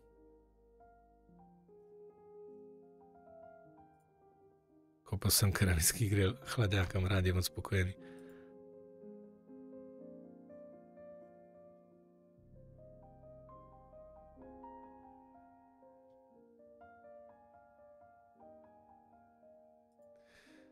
Tady teď nevím, co to úplně znamená.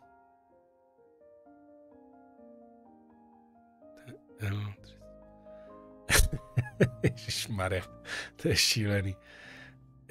Ty, ty Bore, ty jsi fakt borec, ty. Uh, Pepa. Tušíme, co chce používat Hyundai pro robotaxi. V prezentaci na Esalonu mluvili o robotaxi s Ioniq 5 v roce 2023.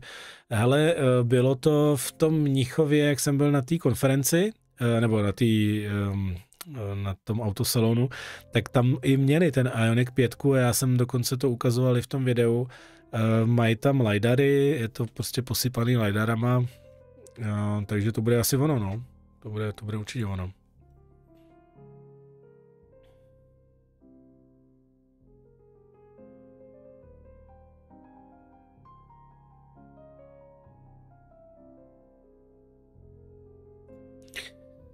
Destination host, to, to jestli píšou něco mezi sebou, to už nevím. Hele, takže ty vado, už je hrozně hodin. Já vám strašně moc děkuju. Uh, strašně moc vám děkuju za vaši podporu, která dneska byla teda úplně neutuchající. Až, až šokující teda. Um, a jak říkám, no, doufám, že se vám líbilo. A... Oj. Chtěl bych teda tím pádem poděkovat uh, hlavně všem mým podporovatelům a, a sponzorům, díky kterým vlastně jsem schopen to dělat. Um, speciálně sponzorům streamu, jako je Vysokoúsporný balík, iBike Morava a teď nově teda i, uh, i vlastně Sektron s nabíječkou. Ale samozřejmě novým patronům uh, Ivo Kučer Kureca, pardon, promiň Ivo, já jsem hrozný na ty jména, Tomáš Poborský, díky moc kluci za podporu. No a samozřejmě teda zlatý podnos Tibor, který teda jako si vybojoval úplně neuvěřitelným způsobem. Ale Highbike Morava, eh, jeden vlastně z sponzorů, takže taky díky moc. Eh, a eh, bronzový, tyjo, Jirka, díky moc. No a samozřejmě i ostatním donátorům, kteří se bojovali o, o pozice, ale exekutivní producenti i producenti. Doufám, že Mirek Ambrozy ten dneska jel právě se svým novým modelem X, nebo teda dobře, staronovým, že si koupil Yetej právě po konzultaci se mnou, využil tu službu, takže to už bude náš nový Teslák. Videa to mě připomíná, že na Discordu bych ho měl obarvit, že už je Teslák, takže, ale i všem uh, producentům a patronům zákulisí. Jak říkám, fakt jste mě udělali velkou radost a ať vám to proudí.